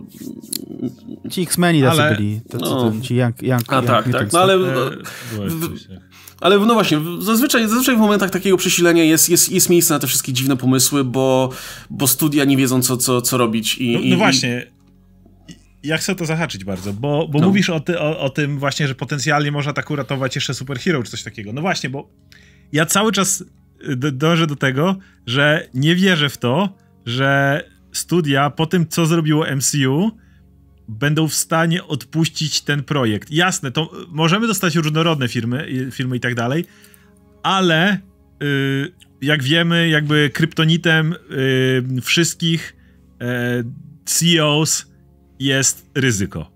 Jakby to jest, to jest mhm. ich absolutny kryptonit i zwróćcie uwagę, że właściwie zawsze w historii kina, może poza tymi latami 70., ale nawet wtedy można wymienić parę jeszcze opcji, E, była, było coś, co dawało filmom jakieś bezpieczeństwo. Przez większość istnienia kina były to gwiazdy. Jeżeli robiłeś nowy film w latach 90. z, nie wiem, Schwarzeneggerem albo Tomem Cruzem przez długi czas, no Tom Cruzem to w sumie jeszcze cały czas trwa, e, albo, nie wiem, Harrisonem Fordem przez jakiś czas, e, czy kimś takim, to wiedziałeś, że minimalne, to mniej więcej to działało tak jak MCU to przynajmniej jak robiłeś film MCU, to wiedziałeś, że tutaj jest pułap, przynajmniej poniżej tego nie spadniesz, nie? Później zostało to zamienione trochę na franczyzy bardziej, co mówiliśmy wielokrotnie, że ludzie nie są wielkimi fanami Roberta Downey Jr., ludzie są wielkimi fanami Roberta Downey Jr. jako Tonego Starka. I, i, i, i widzieliśmy to, to połączenie. I było wiadomo, że okej, okay, robisz superhero, to generalnie poniżej tego poziomu raczej nie spadniesz. No i to warto zobaczyć, że nawet DC, gdzie filmy Zaka Snydera przyjmowały się różnie, ale tam generalnie poza tym może Justice League, które było tym takim pierwszym naprawdę dużym potknięciem, no to one dalej jakoś zarabiały, nie? Kto, dzisiaj nie ma szans, żeby taki film jak Venom zarobił takie pieniądze, jak zarobił na przykład. No, no nie ma dla mnie takiej opcji, ale wtedy by było to bezpieczne. I trik polega na tym, że studia będą też bardzo szukały, a, a, o tyle co wiralowej opcji no nie da się znaleźć, bo nie możesz tego przewidzieć, tak poszukiwania tego bezpiecznego miejsca, którym według mnie dalej będą franczyzy. I od tego nie odejdą. Studia nie zrezygnują z franczyzowania rzeczy, bo to, co odkryto mniej więcej na początku lat 2000, czyli właśnie to, że ludzie, jeżeli już ich przywiążesz do, do danej franczyzy, to będą jej wierni przez bardzo długi czas, nawet jeżeli jakość będzie spadała. No, mówimy o MCU i, yy, i wytracowanej jakości i tak dalej, no ale dobra, Marvels jest największą wtopą finansową, ale chwilę temu jeszcze mieliśmy Guardiansi, to wyszedł dobry film, wiadomo, James Gunn, ale mieliśmy Quantumanię, która co prawda ostatecznie nie zarobiła, bo miała spadki, ale miała otwarcie tam sto ileś baniek. To nie jest tak, że ludzie natychmiast, yy, że ludzie po jednym złym filmie, jeżeli już ich przyzwyczaisz, natychmiast to porzucają. Więc wydaje mi się, że w dalszym ciągu nie ma szans na to, żeby studia nie próbowały za wszelką cenę grać franczyzami. Jakby nie, nie, nie widzę nawet takiej najmniejszej opcji. Zaraz przejdę, ja będę chciał jeszcze podnieść temat MCU, dlaczego akurat może potencjalnie z dwojga złego to było dobre, ale na, na tą chwilę cały czas, na przyszłe lata ja nie wyobrażam sobie eksperymentów więcej, inaczej, Barbie, no to robimy, robimy dwójkę, spin-off i tak dalej, to już nawet się o tym mówi przecież. Jakby nie ma takiej możliwości, żeby ktoś pomyślał, ej Barbie, zróbmy coś jeszcze oryginalnego. Nie, pierwsza myśl jest, robimy spin-off i tak dalej. I to się nie zmieni. Nie, i jakby też zgadzam się z tym, że oni odpuszczą MCU, chociaż y, nie zgadzam się z tym, że nie mogliby odpuścić, dlatego że odpuścili Gwiezdne Wojny jednak. Przecież po, po Rise of Skywalker mieliśmy dostać, kurwa, 17 trylogii. Jedną Taiki Waititiego, drugą od Ryana Johnsona i tak dalej. Organizowali, już nowy film z Rey powstaje, proszę pana, już... No powstaje, ale ile on będzie lat po Rise of Skywalker? No, ta, no, Siedem? No, no tak, no to jest korekcja kursu, to nie jest odpuszczenie. No więc właśnie taką, taką korektę moim zdaniem y, będziemy mieli w MCU, znaczy bo oni, y, w ogóle takie mam wrażenie, to jest bardzo osobiste wrażenie, że oni nie rozumieją trochę tego, że MCU mogłoby dalej być zajebiście dochodowe, chociaż troszkę mniej, ale wciąż dochodowe, gdyby oni pozwolili odpocząć trochę widzowi od MCU, tak? Znaczy gdyby, gdybyśmy nie dostawali co dwa miesiące nowej rzeczy z Przyszły MCU. Przyszły rok nie? może być takim tak. odpoczynkiem, bo jest tylko jeden film i to Deadpool, który też jest I traktowany jak, jako ten... skały srały się sprzeda, sprzeda się jak jasna cholera, ale tak. plus nie będziemy o nim myśleć tak bardzo jako o tej wielkim MCU, to raczej będą wszyscy patrzyli, o bo to Hugh Jackman, wiadomo, inna, inna, inna gałąź, więc może kolejny rok będzie tym odpoczynkiem.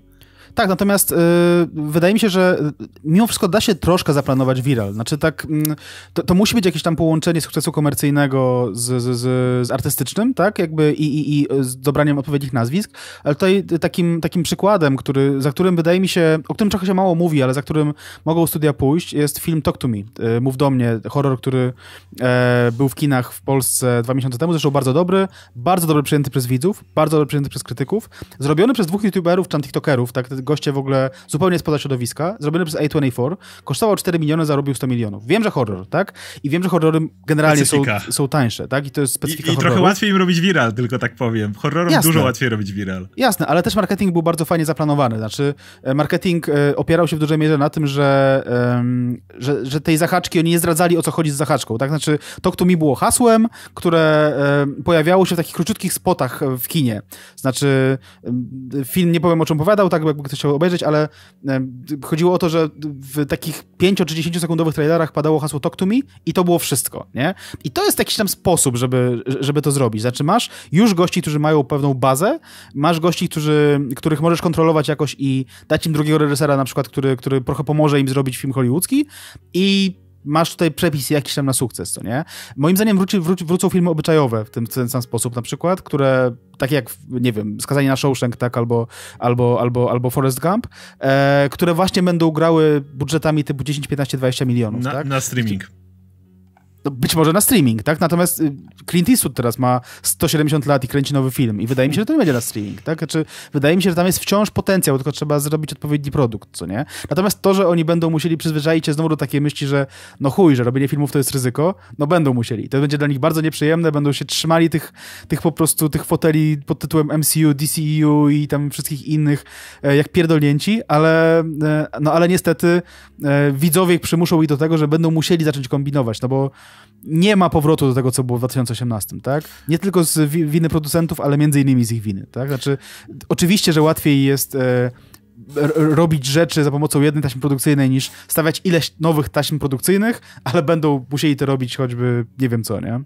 No tylko, że zawsze, zawsze też ryzyko wiąże się z tym, ile pieniędzy ktoś władował w danym projekt, nie? W momencie, w którym e, ja wiem, że tak jak, tak jak zresztą wspomniałem wcześniej, studia będą potrzebowały dużo czasu, żeby jakkolwiek zmienić swoją strategię, a ona dalej wygląda tak, że robimy duże filmy i one, nie, i one niech zarabiają nam na studio.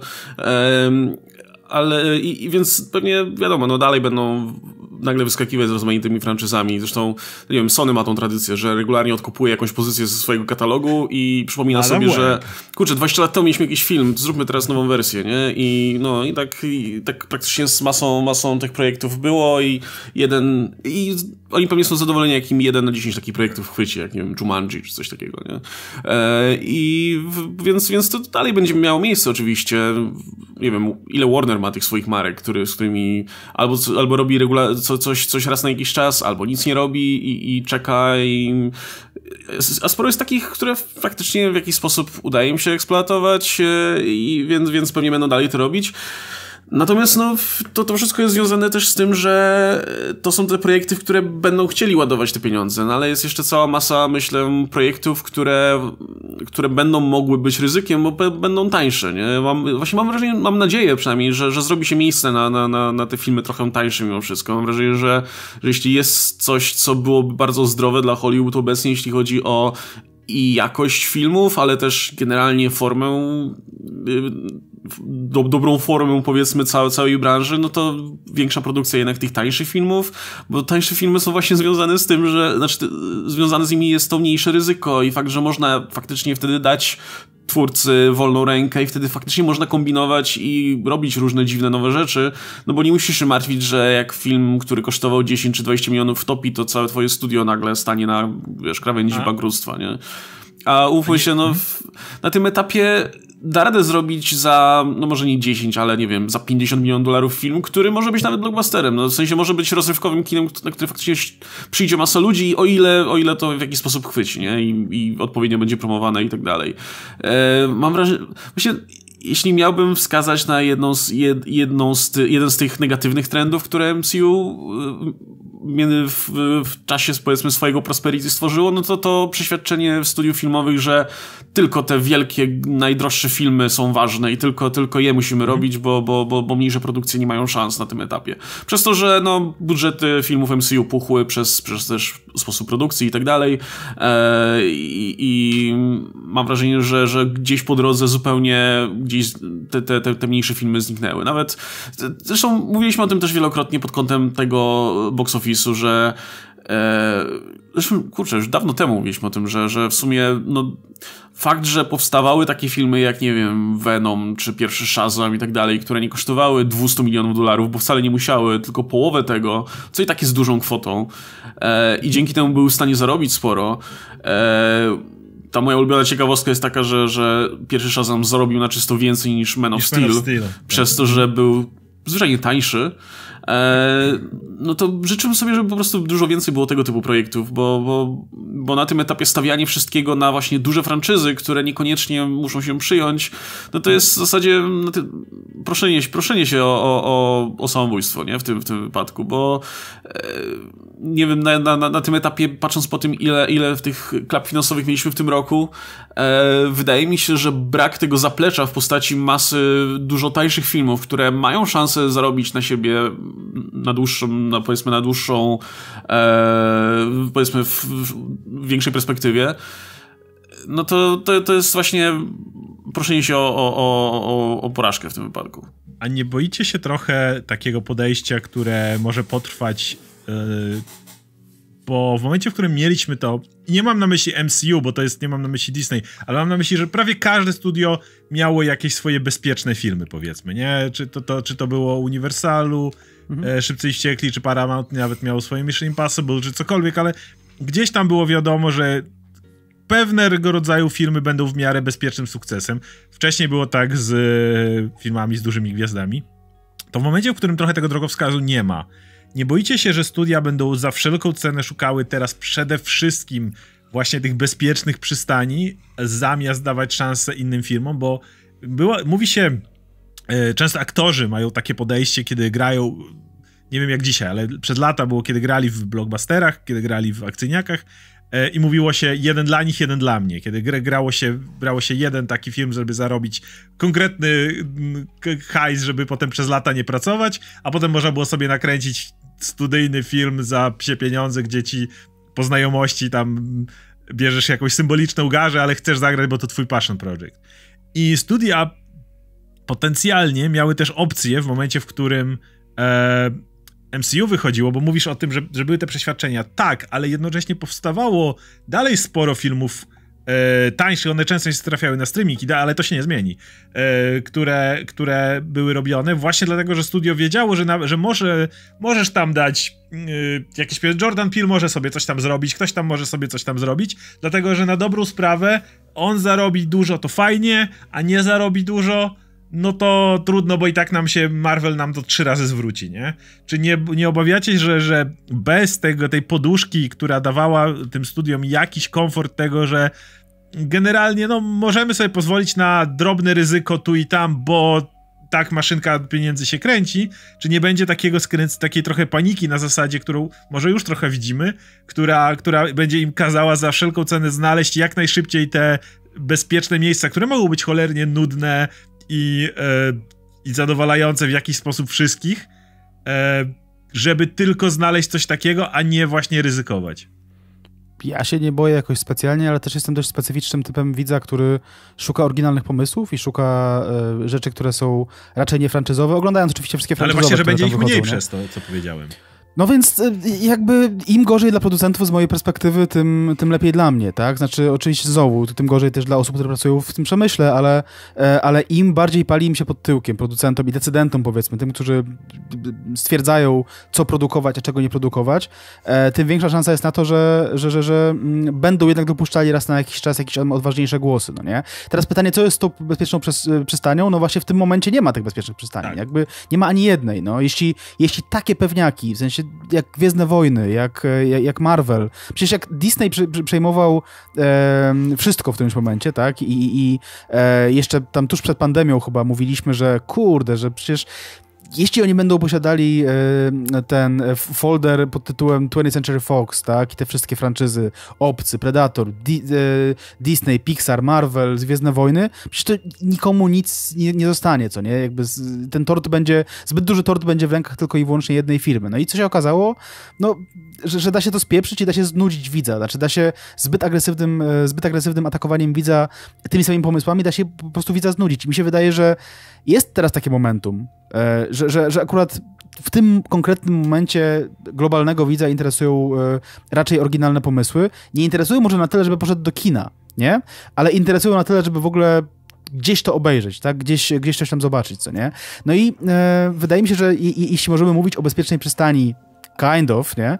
No to, to, to wydaje mi się, że najbezpieczniejsze teraz są animacje yy, i horrory, tak? Znaczy animacje, wiadomo, że jest absolutne pustkowie kreatywne w Disneyu i w Pixarze i te no, rzeczy wyglądają źle i nikt tego nie ogląda. Disneya, teraz ta Wish została zjechana przez krytyków, co było w ogóle bardzo dziwnym trendem, bo animacje dostawały zwykle pas. Widzieliście tam, zwiastuny nie? tego filmu? Ja nie, byłem zaskoczony, nie, bo... przed tymi recenzjami widziałem zwiastun w kinie. Nie, byłem zaskoczony, jak to źle wygląda. Nie widziałem, ale właśnie wiesz, animacje były różnych jakości, te disneyowskie, ale one gdzieś tam zawsze dostawały pas, więc w momencie, w którym mm. zobaczyłem animację y, disneyowską, obłe twarze i te wszystkie rzeczy, mm.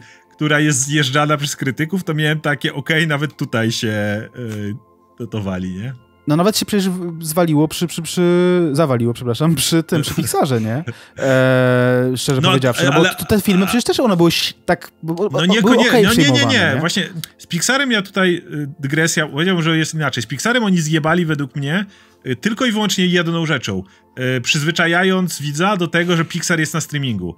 Bo mhm. ten ostatni film, Elemental na przykład, który zaczął od bardzo niskiego progu, ale miał naprawdę dobre oceny i on zarobił ostatecznie niezłe pieniądze. Tylko mhm. on bardzo długo zarabiał te pieniądze, zanim ludzie się przekonali, żeby pójść do kina, żeby dać mu szansę, żeby ten on w końcu zarobił całkiem niezły, niezłą kasę, tylko, tylko oni przy tak bardzo przyzwyczaili, przyzwyczaili nie, widza, że Pixar jest na streamingu, że, mhm. że tym się potknęli, ale nie, nie uważam, żeby ogólnie było potknięcie przy Pixarze. No Elemental był dalej świetnie oceniony.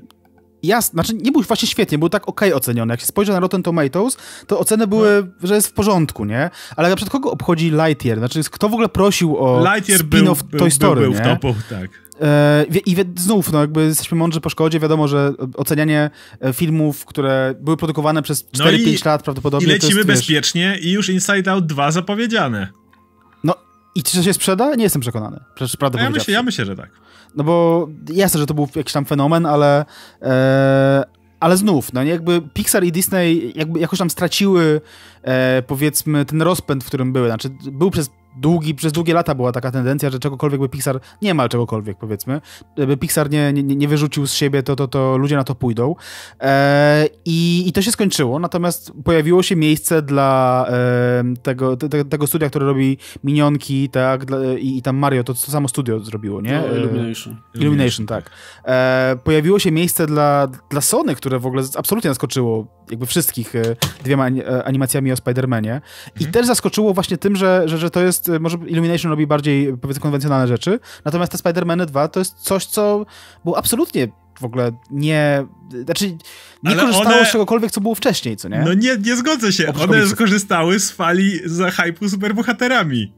Nikt no. w, życiu, w życiu te Spider-Many nie odniosłyby takiego sukcesu, gdyby nie to, że Into the Spider-Verse, czyli pierwsza część, wyszła w momencie, w którym wszyscy chcieli jak najwięcej superbohaterów. Ale nikt na to nie poszedł, tak samo jak nikt nie poszedł, kurde, na, nie wiem, ten film o, mówię z, z głowy, tak, ale o zwierzętach superbohaterów, tak. One są spoko i tak dalej, ale on nie był sukcesem kinowym, gdyby nie to, że on formalnie był interesujący. Nie, gdyby absolutnie, nie to, wyglądał, wyglądał świetnie i tak dalej, to wszystko działało, ale myślę, że te wszystkie, gdybyś ten film, o, gdyby dzisiaj no. wyszedł film, dzisiaj wyszło Into the Spider-Verse, nie wyrzuć z głowy, że ludzie kiedykolwiek mm. widzieli jakąkolwiek, tak, tak. nie byłoby takim sukcesem. Nie jestem przekonany. Znaczy, ja myślę, nie wiem, czy było, byłby takim sukcesem, ale wydaje mi się, że mógł, mógłby się chociaż zwrócić. Wydaje mi się, że wyszło teraz, to mogłoby by zyskać właśnie na tym, że wygląda inaczej i, i że jest okay. trochę innym rodzajem, wiesz, animacji, ja myślę, a też kina superhero. No kurczę, Kot, Kot w butach 2 się sprzedał niedawno. Mhm. Mimo, że umówmy się, no to nie, nie jest, e, wiecie, nie, nie, nie reklamował się Shrekiem na plakacie ani niczym takim, nie? Więc no... Okay. Animacje znaczy, może, to... może, może są jakoś faktycznie tutaj.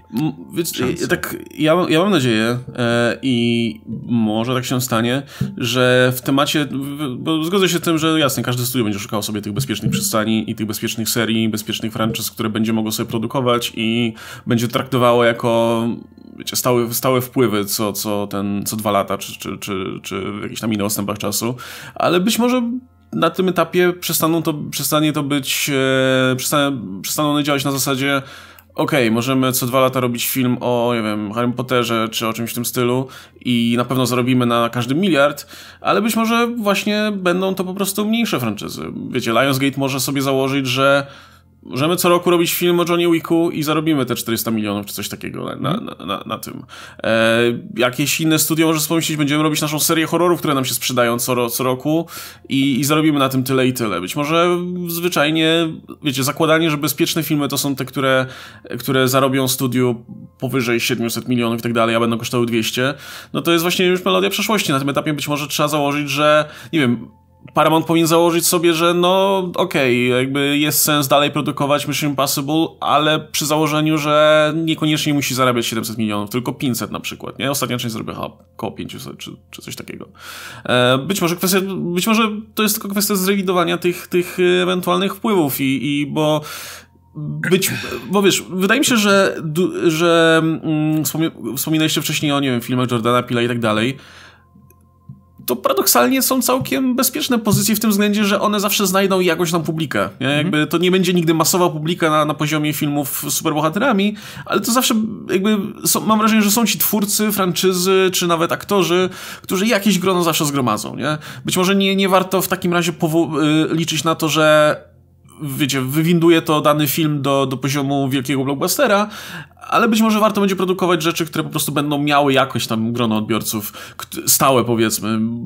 W, w tym wypadku no jest, jest sporo tych, tych, tych serii, które wciąż są kontynuowane, mimo że no, nigdy nie są w top box office, nie? Typu, nie wiem. W tym roku wyszedł Equalizer 3 na przykład. Ktoś to ogląda jeszcze, zarobił stosunkowo nieźle, jak na, jak tam wiecie, film, trzecią część e, e, tej, tej, tej serii. Tam, Czyjś stary ogląda. 200 milionów, czy coś takiego. No, to, to, to... Albo nie wiem, wyszedł, wiecie, wyszła kolejna odsłona Insidious na przykład, nie? Ja wiem, że to horrory mówiliśmy, że to specyficzne, ale wciąż, to jakby ostatnia część była 100 lat temu i, i też nikt się z nią specjalnie nie przejmował i nagle wychodzi kolejna odsłona i spokojnie zarabia te 200 milionów, nie? Więc... Mhm. Tak, a propos tego, co mówisz, no, znam trochę komiksów e, gwiezdnowojennych, no nie? I na podstawie tych komiksów gwiezdnowojennych, które na przykład, nie wiem, taka seria opowieści z kantyny Mose Eisley i tak dalej. Pytanie, czy da się zrobić film gwiezdnowojenny za 50 milionów dolarów? Jasne, że się da. Pewnie, że się da. Znaczy, nikt, wydaje mi się, że, że, że może oprócz jakichś tam e, relatywnie niewielu widzów, nikt nie oczekuje teraz, żeby to była kolejna trylogia, w której e, wielkie dobro będzie się mierzyło z wielkim złem i powrócą Mark Hamill i i, i wszyscy ludzie, no nie? E, Natomiast dałoby się na pewno zrobić małą historię, tak? Znaczy, powiedzmy, mniejszą niż solo A Star Wars Story z, ze świata Gwiezdnowojennego, która byłaby tania. I czy ona by się na pewno sprzedała? Na pewno nie, no. To, to, znowu to byłoby ryzyko, no nie?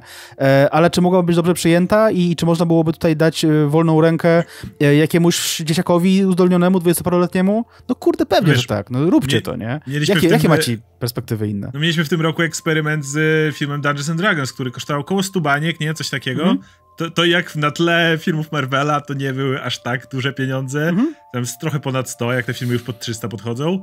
Miał świetne przyjęcie yy, widzów, krytyków mhm. i był wielką wtopą finansową. Znaczy chyba wielką nie, znaczy nie był jakąś był koszmarną wielką, wtopą, nie? Był tak? Wielką Bo tam otwarcie było spoko, nie? E, nie, nie było. Nie? Okay. Już, już ci mówię. Właśnie też sprawdzę z ciekawości. No, ale mówię, no to nie jest. Ja, ja nie sprzedaję przepisów, kurde, bo gdyby istniały przepisy okay, na to, jak. Miał otwarcie 37 baniek, na ze świata zebrał 208. E, więc no. Czekaj, nie wyszło, ale aczkolwiek, y, no to, to jest dalej koszt budowania franczyz. Chris Pine twierdzi, że druga część powstanie na pewno, bo ludzie byli zachwyceni. Powinna, wie. no nie? No bo ci ludzie to zobaczą na, na zwodach, tak? I tak samo przecież to nie było tak, że Into the Spider-Verse było od razu tak. było wielkim hitem, tak, nie? Tak, tak, tak, tak. Tam poszła pantoflowa, nie? Oglądali, tak. Dobra, mam na sam koniec jeszcze takie do was pytanie, takie trochę odbiegające od tej kwestii y, samego poradzenia sobie w kinie, a bardziej taki aspekt społeczny.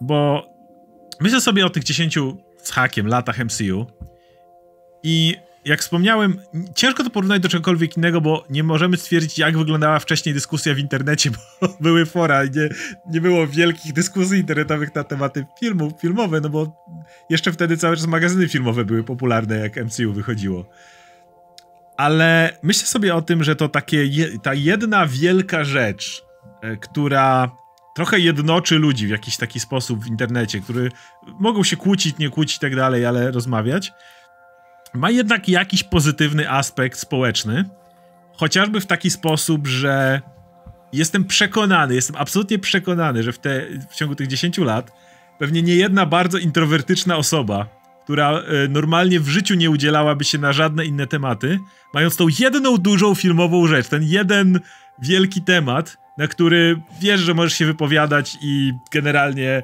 jest duża szansa, że masa innych ludzi też się będzie mogła o tym wypowiedzieć, bo to jest coś, co wszystkich łączy w jakiś sposób. E, myślę, że otworzyła całą masę dyskusji, wciągnęła całą masę ludzi do zainteresowania się po raz kolejny, pójdę dalej, też filmem, może komiksem, może innymi rzeczami i, i, i rozgałęziając się od tego e, i przyniosła, wydaje mi się, znacznie więcej ludzi. Zresztą to widzieliśmy przy różnego rodzaju produkcjach, jak na przykład nagle Black Panther, na którego poszła masa ludzi, która nie oglądała MCU, ale na Black mm. Panthera poszła na przykład w Stanach, nie? I było wiele takich produkcji, która ściągała ludzi, którzy normalnie nie byli aż tak zainteresowani, którzy nie chodzili. W... To nie tak, to nie byli ludzie, którzy nagle zostali, wiecie, nauczeni chodzić do kina tylko na MCU, ale po prostu zaczęli chodzić do kina i, i mm. tego typu rzeczy. Wydaje mi się, że mimo tego, jak możemy narzekać na potencjalnie tutaj y, homogenizację jakąś, zamykanie się tego. Wydaje mi się, że jakby mimo wszystko ten aspekt społeczny takiego mm, takiego otwarcia się na, na tą, y, może nie otwarcia to złe słowo, ale takiego jakiegoś właśnie inkluzywności powiedzmy przez, y, przez tą jedną, jedną markę czy coś takiego, wniósł wiele dobrego do, do, do społeczności i wydaje mi się, że mimo wszystko bez niego y, może być inaczej w, w dyskusjach i potencjalnym porozumieniu, bo chcę się odnieść do tego jeszcze w taki sposób, jak mieliśmy ludzi, którzy zaczynali od rozmów o MCU, a potem na przykład były polecanie sobie innych filmów. Czyli jak my mieliśmy często z komiksami. Zaczynało się od czytania superbohaterskich historii przez na przykład MCU, a potem się odkrywało, że scenarzysta, który napisał Spidermana, napisał też niezależny komiks, który jest w ogóle świetny i można go czytać i tak dalej. I, i wydaje mi się, że z filmami też nieraz tak było, więc ja mam wrażenie, że jasne, jakby nie, nie odrzucam wielu tutaj problemów, które były z tym związane, ale mimo wszystko te 10 lat plus z tej dominacji MCU dało bardzo ciekawy rozwój w, pod, kontekście społeczności popkulturowej, nazwijmy ją tak, której może, która, którego możemy już nie zobaczyć tak łatwo. No, to ja się zgodzę z tym na pewno, że ym, na pewno e, jakby przystępność tych filmów, fakt, że one były oglądane przez e, ludzi bardzo, o bardzo różnym, powiedzmy, zainteresowaniu kinem czy, czy popkulturą generalnie, albo wręcz e, zachęcały powiedzmy do, do sięgnięcia po komiksy czy inne filmy. Też się zdarzało, nie wiem, sprawdzać inne filmy, który...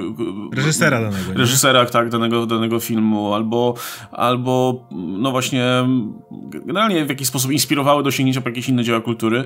To, to na pewno na pewno pozytywny wpływ e, i, i wydaje mi się, że e, na pewno tego typu rzecz, ta, ta, ta właśnie ten, ten globalny powiedzmy trend, który w jakiś sposób jednoczy gusta masy osób, e, no ma ten, ten pozytywny wymiar i, i, i sprawia, że, że masa ludzi się, się tym tematem interesuje, a to znowu w jakiś sposób e, procentuje, powiedzmy, nie wiem, rozwijaniu jakichś zainteresowań w dal, dalszą stronę. No jedyne po prostu czego żałuję, że, że, że trochę też, że można było iść, pójść z tym dalej i, i MCU mogło jeszcze um, mogło zrobić z tym coś jeszcze więcej. To znaczy, hmm. można było iść trochę bardziej w gatunkowe rzeczy, można było tak, trochę tak. bardziej różnorodnie. Ja mam wrażenie, że na jakimś etapie jakby mieliśmy nadzieję, że trochę tak się stanie, bo te filmy się w którymś momencie zaczęły robić trochę bardziej różnorodne i... Wszyscy myśleli, że po Endgame będzie ten moment, a poszło zupełnie co innego. Tak, ale już nawet właśnie, no, mam wrażenie, mam wrażenie, że na etapie gdzieś właśnie drugiej fazy i tak dalej, gdzie pojawiały się te filmy typu Winter Soldier, Guardians of the Galaxy, Ant-Man i tak dalej, jakby to wciąż były filmy, no, konwencjonalne, powiedzmy, wciąż e, w podobnym stylu stworzone, ale jednocześnie mające masę tych elementów z, z różnych gatunków filmowych i mieliśmy nadzieję, że pójdą za ciosem będzie tego jeszcze, że, że, że, jeszcze bardziej te filmy będą różnorodne i jeszcze powiedzmy odważniej będą sięgać po, po, po rozmaite gatunkowe elementy e, i że faktycznie doczekamy tego horroru z MCU, którego się nigdy jeszcze nie doczekaliśmy poza tym krótkometrażowym e, e, z, z, z zeszłego Halloween ale no, no, wręcz przeciwnie, te filmy się zrobiły coraz bardziej, nie? I, takie jednolite i, i jeszcze, jeszcze, jeszcze mniej tego charakteru tak naprawdę miały, co mam wrażenie, że z jednej, z jednej strony się zaczęło, zacząłem, się, zacząłem się trochę obawiać, że to sprawi, że, że inne filmy będą starały się równać powiedzmy do tego i w pewnym sensie być może niektóre próbowały, ale z drugiej strony też wydaje mi się, że, że na dłuższą metę to też yy, zadziałało na niekorzyść samego MCU, to znaczy dla, te filmy się zaczęły po prostu na jakimś etapie już nudzić, nie? Jakby ten, ten styl i rodzaj humoru na przykład, tak dalej. E, e, wydaje mi się, że, że, że jest jednym z tych elementów, który sprawił, że, że, że ludzie zaczęli się trochę odwracać od tego, od tego uniwersum przez to, jak bardzo jednorodne były te filmy. Ale no, na, pewno, na pewno był ten etap, kiedy, kiedy mm, powiedzmy, że no można było mówić o tym, o tym społecznym aspekcie, powiedzmy, pozytywnym nie? Te, te, te, mhm. tego uniwersum. Tak, znaczy zgadzam się z tym, że może potrzebujemy czegoś takiego, że, że, że możesz mieć kolega konfiarza i samemu być wyborcą partii razem, tak? I, i obaj się spotykacie na, na, na sali kinowej, tak?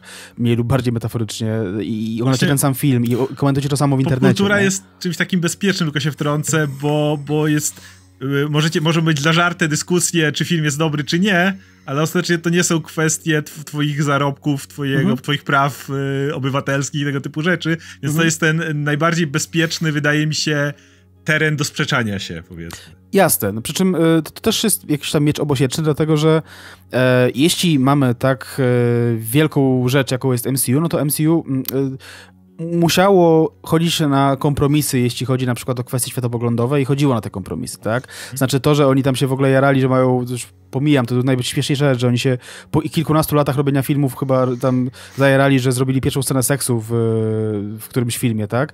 E, Eternals i w tym samym w, w też, i w tym samym też był pocałunek gejowski tak, pierwszy. tak, i że tam, e, że ten, tym wątkiem gejowskim, okej, okay, no to było akurat tam cute i ciężko się do tego doczepić, ale, ale że w Endgame była ta, ta, ta scena, w której jeden z reżyserów zagrał, jeden z braci Russo zagrał, e, zagrał osobę homoseksualną e, albo biseksualną, e, no to to jest e, jakoś tam to to było, ale, ale widzieliśmy wiele jakichś takich e, wybojów pod tytułem usuwamy jakąś tam scenę, dlatego że albo dodajemy jakąś tam scenę na rynek chiński, albo ponieważ tam tu i tu e, promowanie homoseksualizmu, cokolwiek by to znaczyło, jest zakazane, no to musimy uważać, nie? Zapowiedzi przed Love and Thunder dotyczące postaci Valkyrie, że dostaniemy e, jakiś wątek związany właśnie z jej seksualnością i, i, i to się ograniczyło do tej jednej sceny, gdzie kradnie błyskawice i puszcza oko do, tak. do mhm. tych pań na, e, na Olimpie.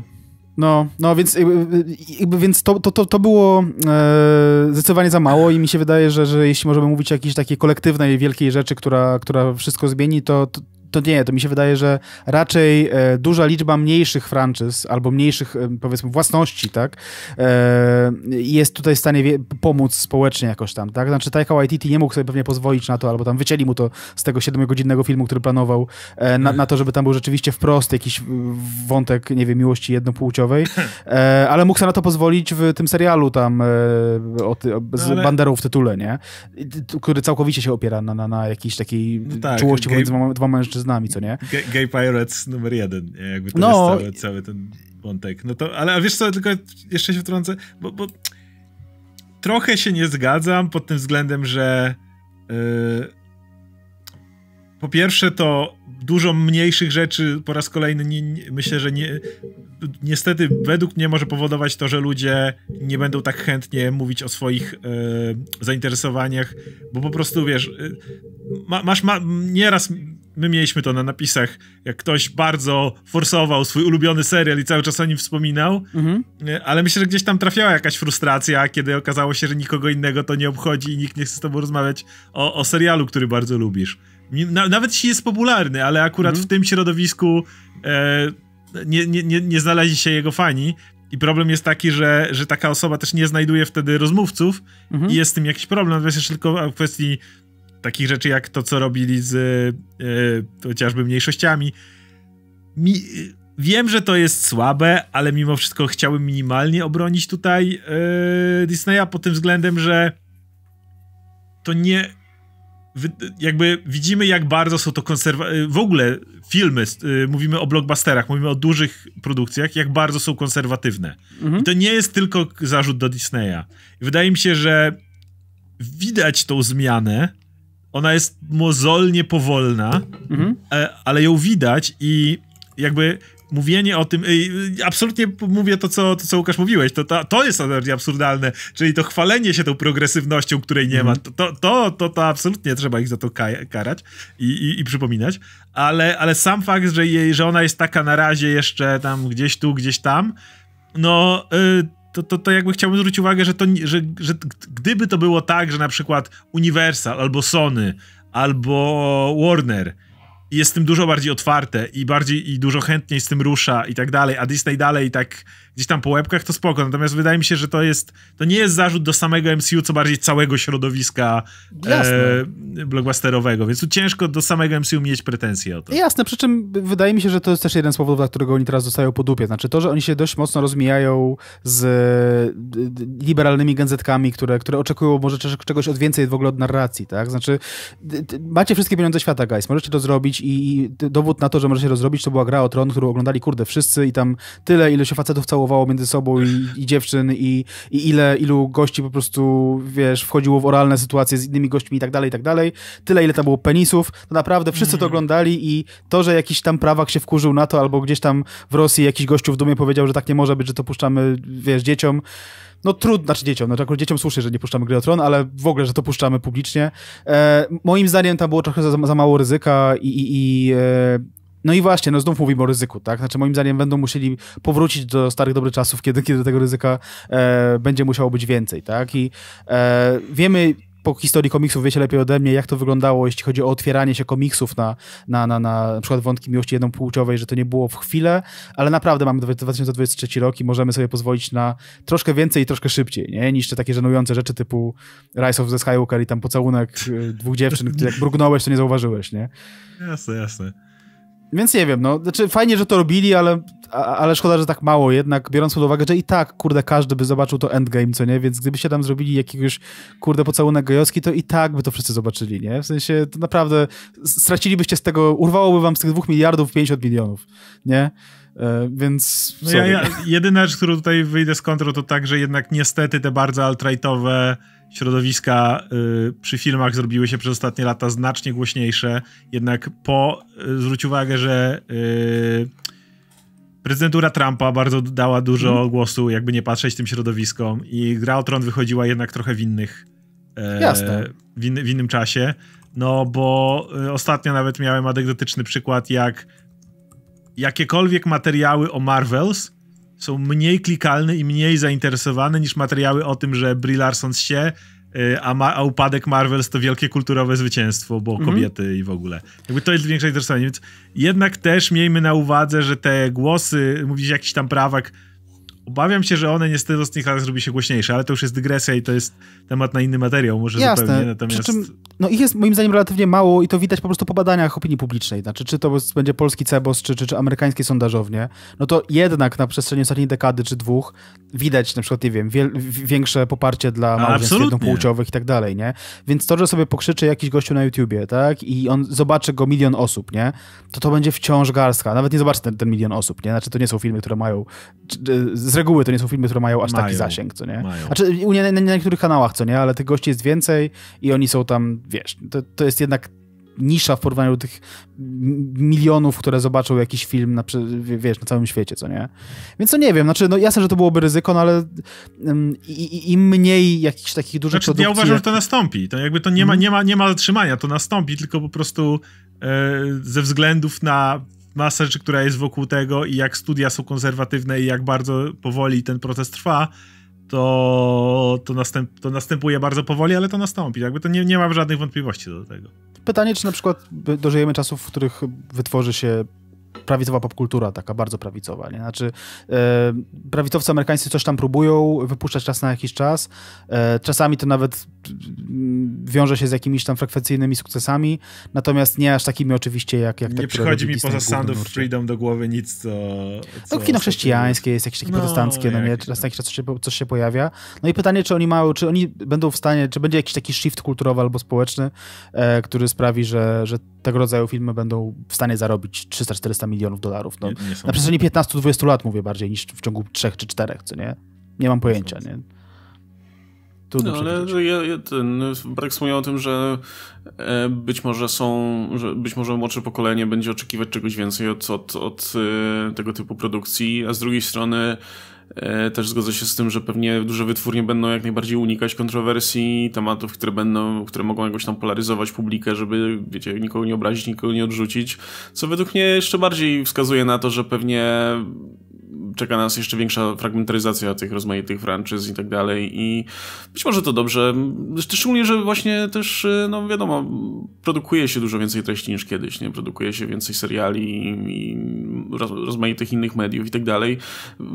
To wszystko musi znaleźć gdzieś tam swojego odbiorcę i pewnie znajdzie, więc podejrzewam, że, że być może nie, no, jest, jestem prawie pewien, że nie zobaczymy już niczego na skalę MCU, ale pewnie dostaniemy być może mniejsze franczyzy, które, no, mniejsze, wiecie, nie tylko skali, ale też powiedzmy od, odbioru, które będą trafiać do, do powiedzmy bardziej skondensowanych grup odbiorców i być może to dobrze, być może dzięki temu każdy, wiecie, każdy ma trochę inne oczekiwania i trochę inne mimo wszystko potrzeby, więc, więc być może poszczególne różne grupy odbiorców dostaną powiedzmy produkcje, które będą bardziej skrojone pod ich gusta, nie? E, w przeciwieństwie do tej jednej franczyzy, która starała się być dla wszystkich i, i na dobrą sprawę z jednej strony to, to tak, jak, tak jak Oskar wspominał, na pewno e, umożliwiało wejście w popkulturę powiedzmy w szerszym zakresie wielu osobom, ale też z drugiej strony no to jakby nie udało się MCU nigdy wyjść z tej pułapki bycia, bycia tym takim bardzo um, wiecie, przystępnym medium, nie? I, i, i serią dla, dla, dla każdego. Przez co właśnie nigdy nie była, właśnie przez co nie, nie za bardzo było tam miejsce na jakiekolwiek ryzyko, czy, czy, czy um, jakieś bardziej szalone pomysły, no bo, no bo wiadomo, publika była bardzo szeroka. Ale właśnie Więc było to, to miejsce. To, to będzie trend, na który trzeba Właśnie brakowało tej drogi trochę im, e, którą komiksy objęły swego czasu, gdzie wiesz, że jak będziesz czytał swojego tego Spidermana, czy in, inny jakiś tam komiks Marvela z tych Avengers, czy coś takiego, to mm. raczej dostaniesz to, czego się spodziewasz, ale potem na przykład ktoś napisze ci e, jakiegoś horrorowego Hulka, jak było z tym e, Immortal Hulk czy coś takiego, gdzie robił ci po prostu full body horror na, na boku -hmm. i, i nie ma z tym żadnego problemu, więc w MCU zabrakło tego, żeby wykształcić sobie ten trzon, bo tu, tu się zgodzę i to będzie w sumie mo moje podsumowanie tego tematu, że jak najbardziej dobre i korzystne i fajnie. I nie obraził mi się, gdyby wróciło coś, co znowu jednoczy wszystkich naraz w jednym miejscu, ale, ale jako ten trzon, jako ten właśnie ten, ten jeden film w roku, nie więcej powiedzmy, jeśli o to chodzi, ale już filmy, które, które jakby um, dają to łatwiejsze wejście, w sensie, okay, lubisz to, to teraz to jest dalej powiązane uniwersum, to możesz sprawdzić ten serial czy film, mhm. ale on już jest czymś zupełnie innym. On już, on już może ryzykować, on już może być czymkolwiek innym. Możesz zobaczyć to i potem jak robisz to, to wtedy nie wiem, zobacz coś innego tego twórcy czy coś takiego. A oni się za bardzo zamknęli tylko na tym jednym na tym pionie i przestali robić odgałęzienia. A to ciekawe, bo szli drogą komiksów, które jak najbardziej zrobiły dokładnie to. Mhm. I w komiksach możesz w każdym miesiącu znaleźć, nawet w tej w samych Marvelu czy DC,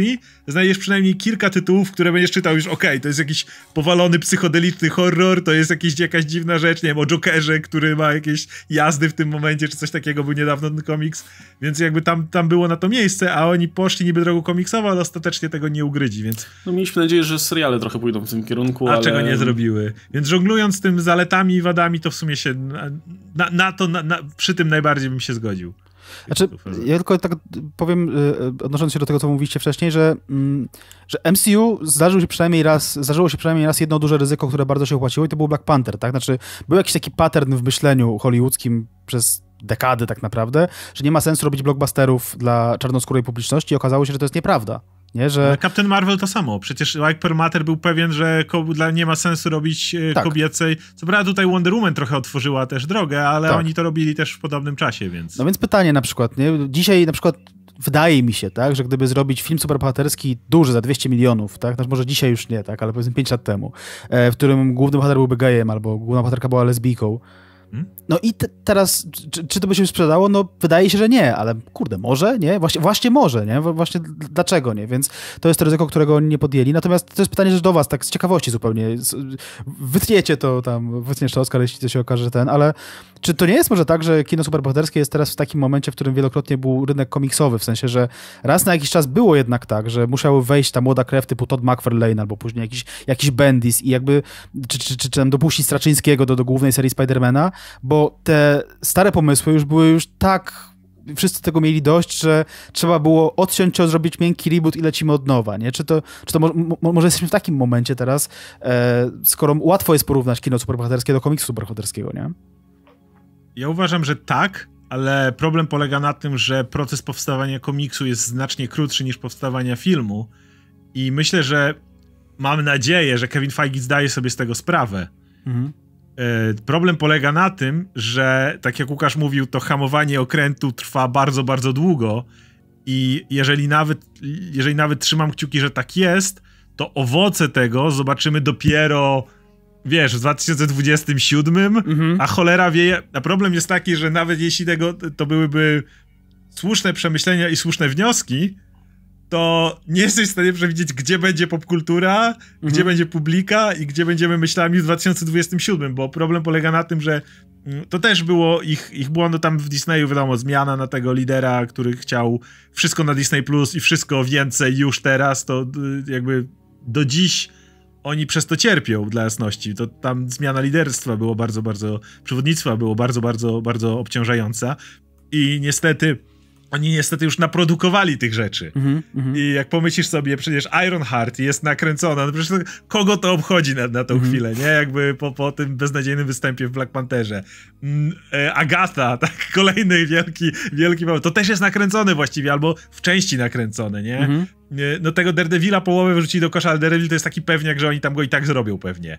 E, Echo zaraz wychodzi przecież w styczniu. Znowu mm. super postać z Hawkeye'a, wszyscy uwielbiają, e, nie mogą się doczekać, nie? Oni przecież nawalili Thunderbolts, yy, nie pamiętam co, co, co, tam jeszcze, ale oni problem jest tego, że oni już narobili tego tyle w takim miejscu, że mhm. w tym momencie wyrzucanie tego do kosza byłoby e, no jeszcze większą stratą finansową. -hmm na, wiesz, gdyby ktoś myślał naprawdę długoterminowo, to może nawet lepiej byłoby to wszystko wywalić do kosza i nigdy ludziom nie pokazywać. Zwłaszcza, mm. że Disney jest w takim miejscu, że oni coraz mniej sobie mogą pozwalać na kolejne wtopy. Tak. I za chwilę to będzie. I czy naprawdę nie jest lepszą decyzją wziąć te, to, co nakręcili z Ironheart, wziąć to, co nakręcili, nie wiem, z Agatą i tak dalej. Chyba, że ktoś tam naprawdę uważa, że to jest świetne, ale wątpię, bo to było robione starą metodą mm na szybkość, na ten i to wywalić. Natomiast jeśli tego nie zrobią i pójdą standardową drogą, czyli już nakręciliśmy, to musimy zrobić, no to 2026 będzie kolejnym zalewem średniaków, które mm -hmm. nie wiem, czy to kompletnie już nie zajadą.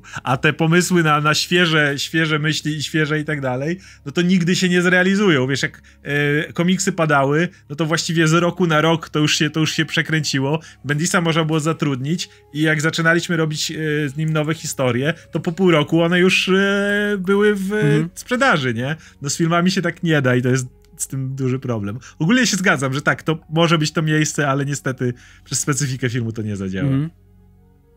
To jest w ogóle szaleństwo, co oni zrobili z tymi serialami, nie? Znaczy, jakby tak człowiek się zastanowił, ile rocznie, tak rok do roku, nie? Jest głośnych seriali na przykład od Netflixa albo od HBO, nie?